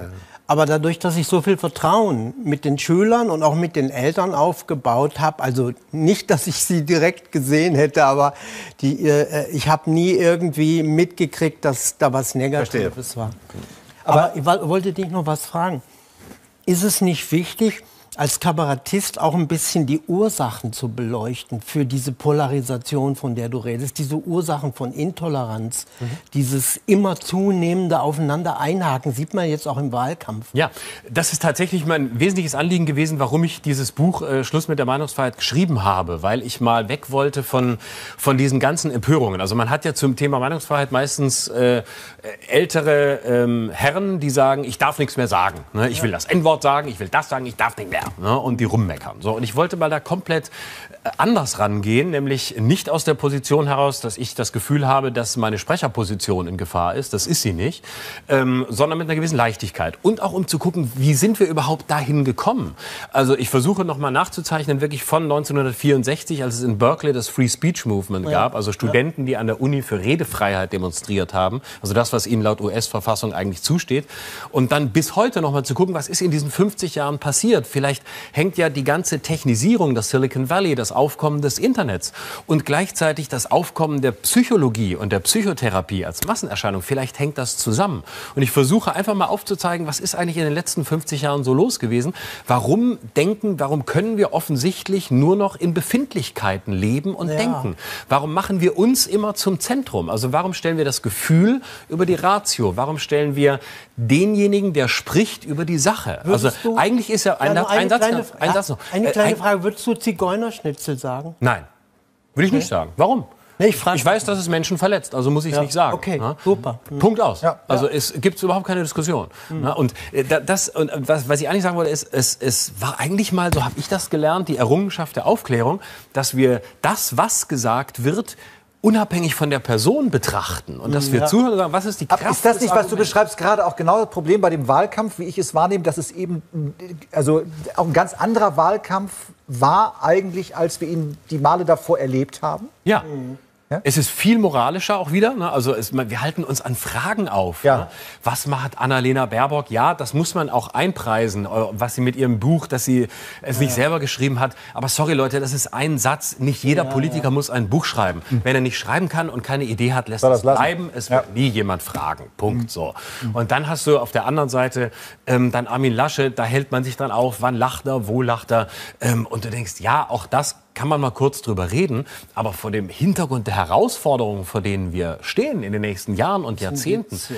was eigentlich gerade auf dem Spiel steht, Ja. ist das wirklich so, dass du denkst, okay, eine Welt, die offensichtlich sich keine Antworten mehr auf die Fragen der eigenen Zeit zutraut, Klimawandel, Waffenlieferungen, tausend Themen, äh, beschäftigt sich eben wie kleine Kinder äh, damit, was haben die Böses gemacht. Ah, die eine hat abgeschrieben, wie in der Schule. Das kleine Kind hat abgeschrieben, das andere hat gelacht und dann werden wir es mal abstrafen. Wir reden über Tischsitten. Ja, und das ist doch albern. wesentliche Inhalte. Ja. Das ist schrecklich. Du hast, du hast gerade eben die, die sozialen Medien alle äh, angesprochen, die du auch selber nutzt. Die haben natürlich das alles noch bespe, bespe, äh, ja, beschleunigt, kann man, ja, beschleunigt auf jeden Fall. Weil du natürlich dich auch immer in, deiner, in deinem Cocooning-haften, in deiner Bubble, in deiner Peer Group quasi auffällst und stetig die Bestätigung bekommst. Der Daumen geht hoch, wenn du irgendwas äh, gepostet hast. Ähm, wie, wie ist das aufzulösen?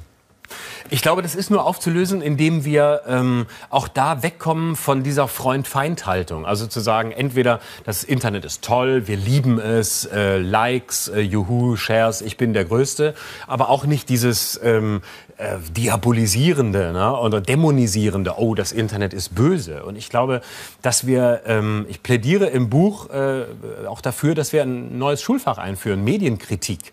Das fände ich großartig, wo du wirklich die gesamte Mediengeschichte vom Buchdruck bis zu den sozialen Netzwerken vorurteilsfrei dir mit Leu jungen Leuten anguckst, wo die Jungen von den Alten, die Alten auch von den Jungen lernen können und wo man dem nicht mehr als etwas begegnet, was nur Gefahr ist oder nur äh, äh, Heiligtum, äh, sondern wo man sagt, hey, wir gucken uns an, was ist da eigentlich los, was ist Fernsehen, was ist Internet und wir lernen einen souveränen Umgang mit diesen Medien. Denn ich glaube auch, wir können ja noch gar nicht so souverän damit umgehen, weil die Erscheinungen ja noch recht jung sind. müssen Und wir in der. Digitalisierung vor allen Dingen so hinten dran hängen, dass Ja. vielleicht so ein Schulfach dazu beitragen würde, dass wir langsamer aufschließen, Aufschließen. Absolut. mit Finnland oder USA. Das wäre ja auch eine Hoffnung. Das, ja? das muss man natürlich sagen. Ja. Für das Schulfach bräuchte erstmal die Schule Internet und man müsste erstmal dort lernen, dass es das gibt. Und Wäre hilfreich. Mehr ja. gibt als 128 Kilobit Modem. Weil in der Schule steht immer noch ein Fax und ein Telefon. Ich bin drin. Was hältst du von der Digitalisierung der Schule, dass jetzt durch Corona noch mal richtig äh, äh, aufs Tablett gekommen? Jetzt wollen alle Parteien da ganz viel tun. Was hältst du davon? Ich kann dir nur schon mal sagen, ich hatte eine iPad-Klasse in Mathe. Darüber reden wir, äh, Herr Bachmann, darüber reden wir gleich weiter, weil wir sind nämlich am Ende der Sendung, wir hören schon die Musik. Also Ja. auf jeden Fall, ich kann nur sagen, das Buch ist der Hammer. Vielen Dank, dass ich es schon lesen durfte. Sie können es jetzt lesen, Florian Schröder. Dankeschön. Und das war, meine Damen und Herren, die NDR Talkshow. Vielen Dank unseren tollen Gästen der tollen Runde und danke dir, Hubertus. Ja, und ich danke dir, Jörg, und Ihnen fürs Zuschauen, meine Damen und Herren. Gute Nacht, kommen Sie gut ins Bett oder gucken Sie das nachfolgende Programm. Und in der kommenden Woche freuen sich Bettina und ich unter anderem auf André Rieu, Kerstin Ott und Oskar Gundel sind bei uns. Und äh, jetzt, meine Damen und Herren, geht es weiter mit Max Mutzke und den Lebensliedern. Heute zu Gast Daniel Hope. Vielen Dank, eine schöne Nacht und kommen Sie gut durch die Nacht. Schönes Wochenende. Tschüss. Danke, Hubertus. Danke,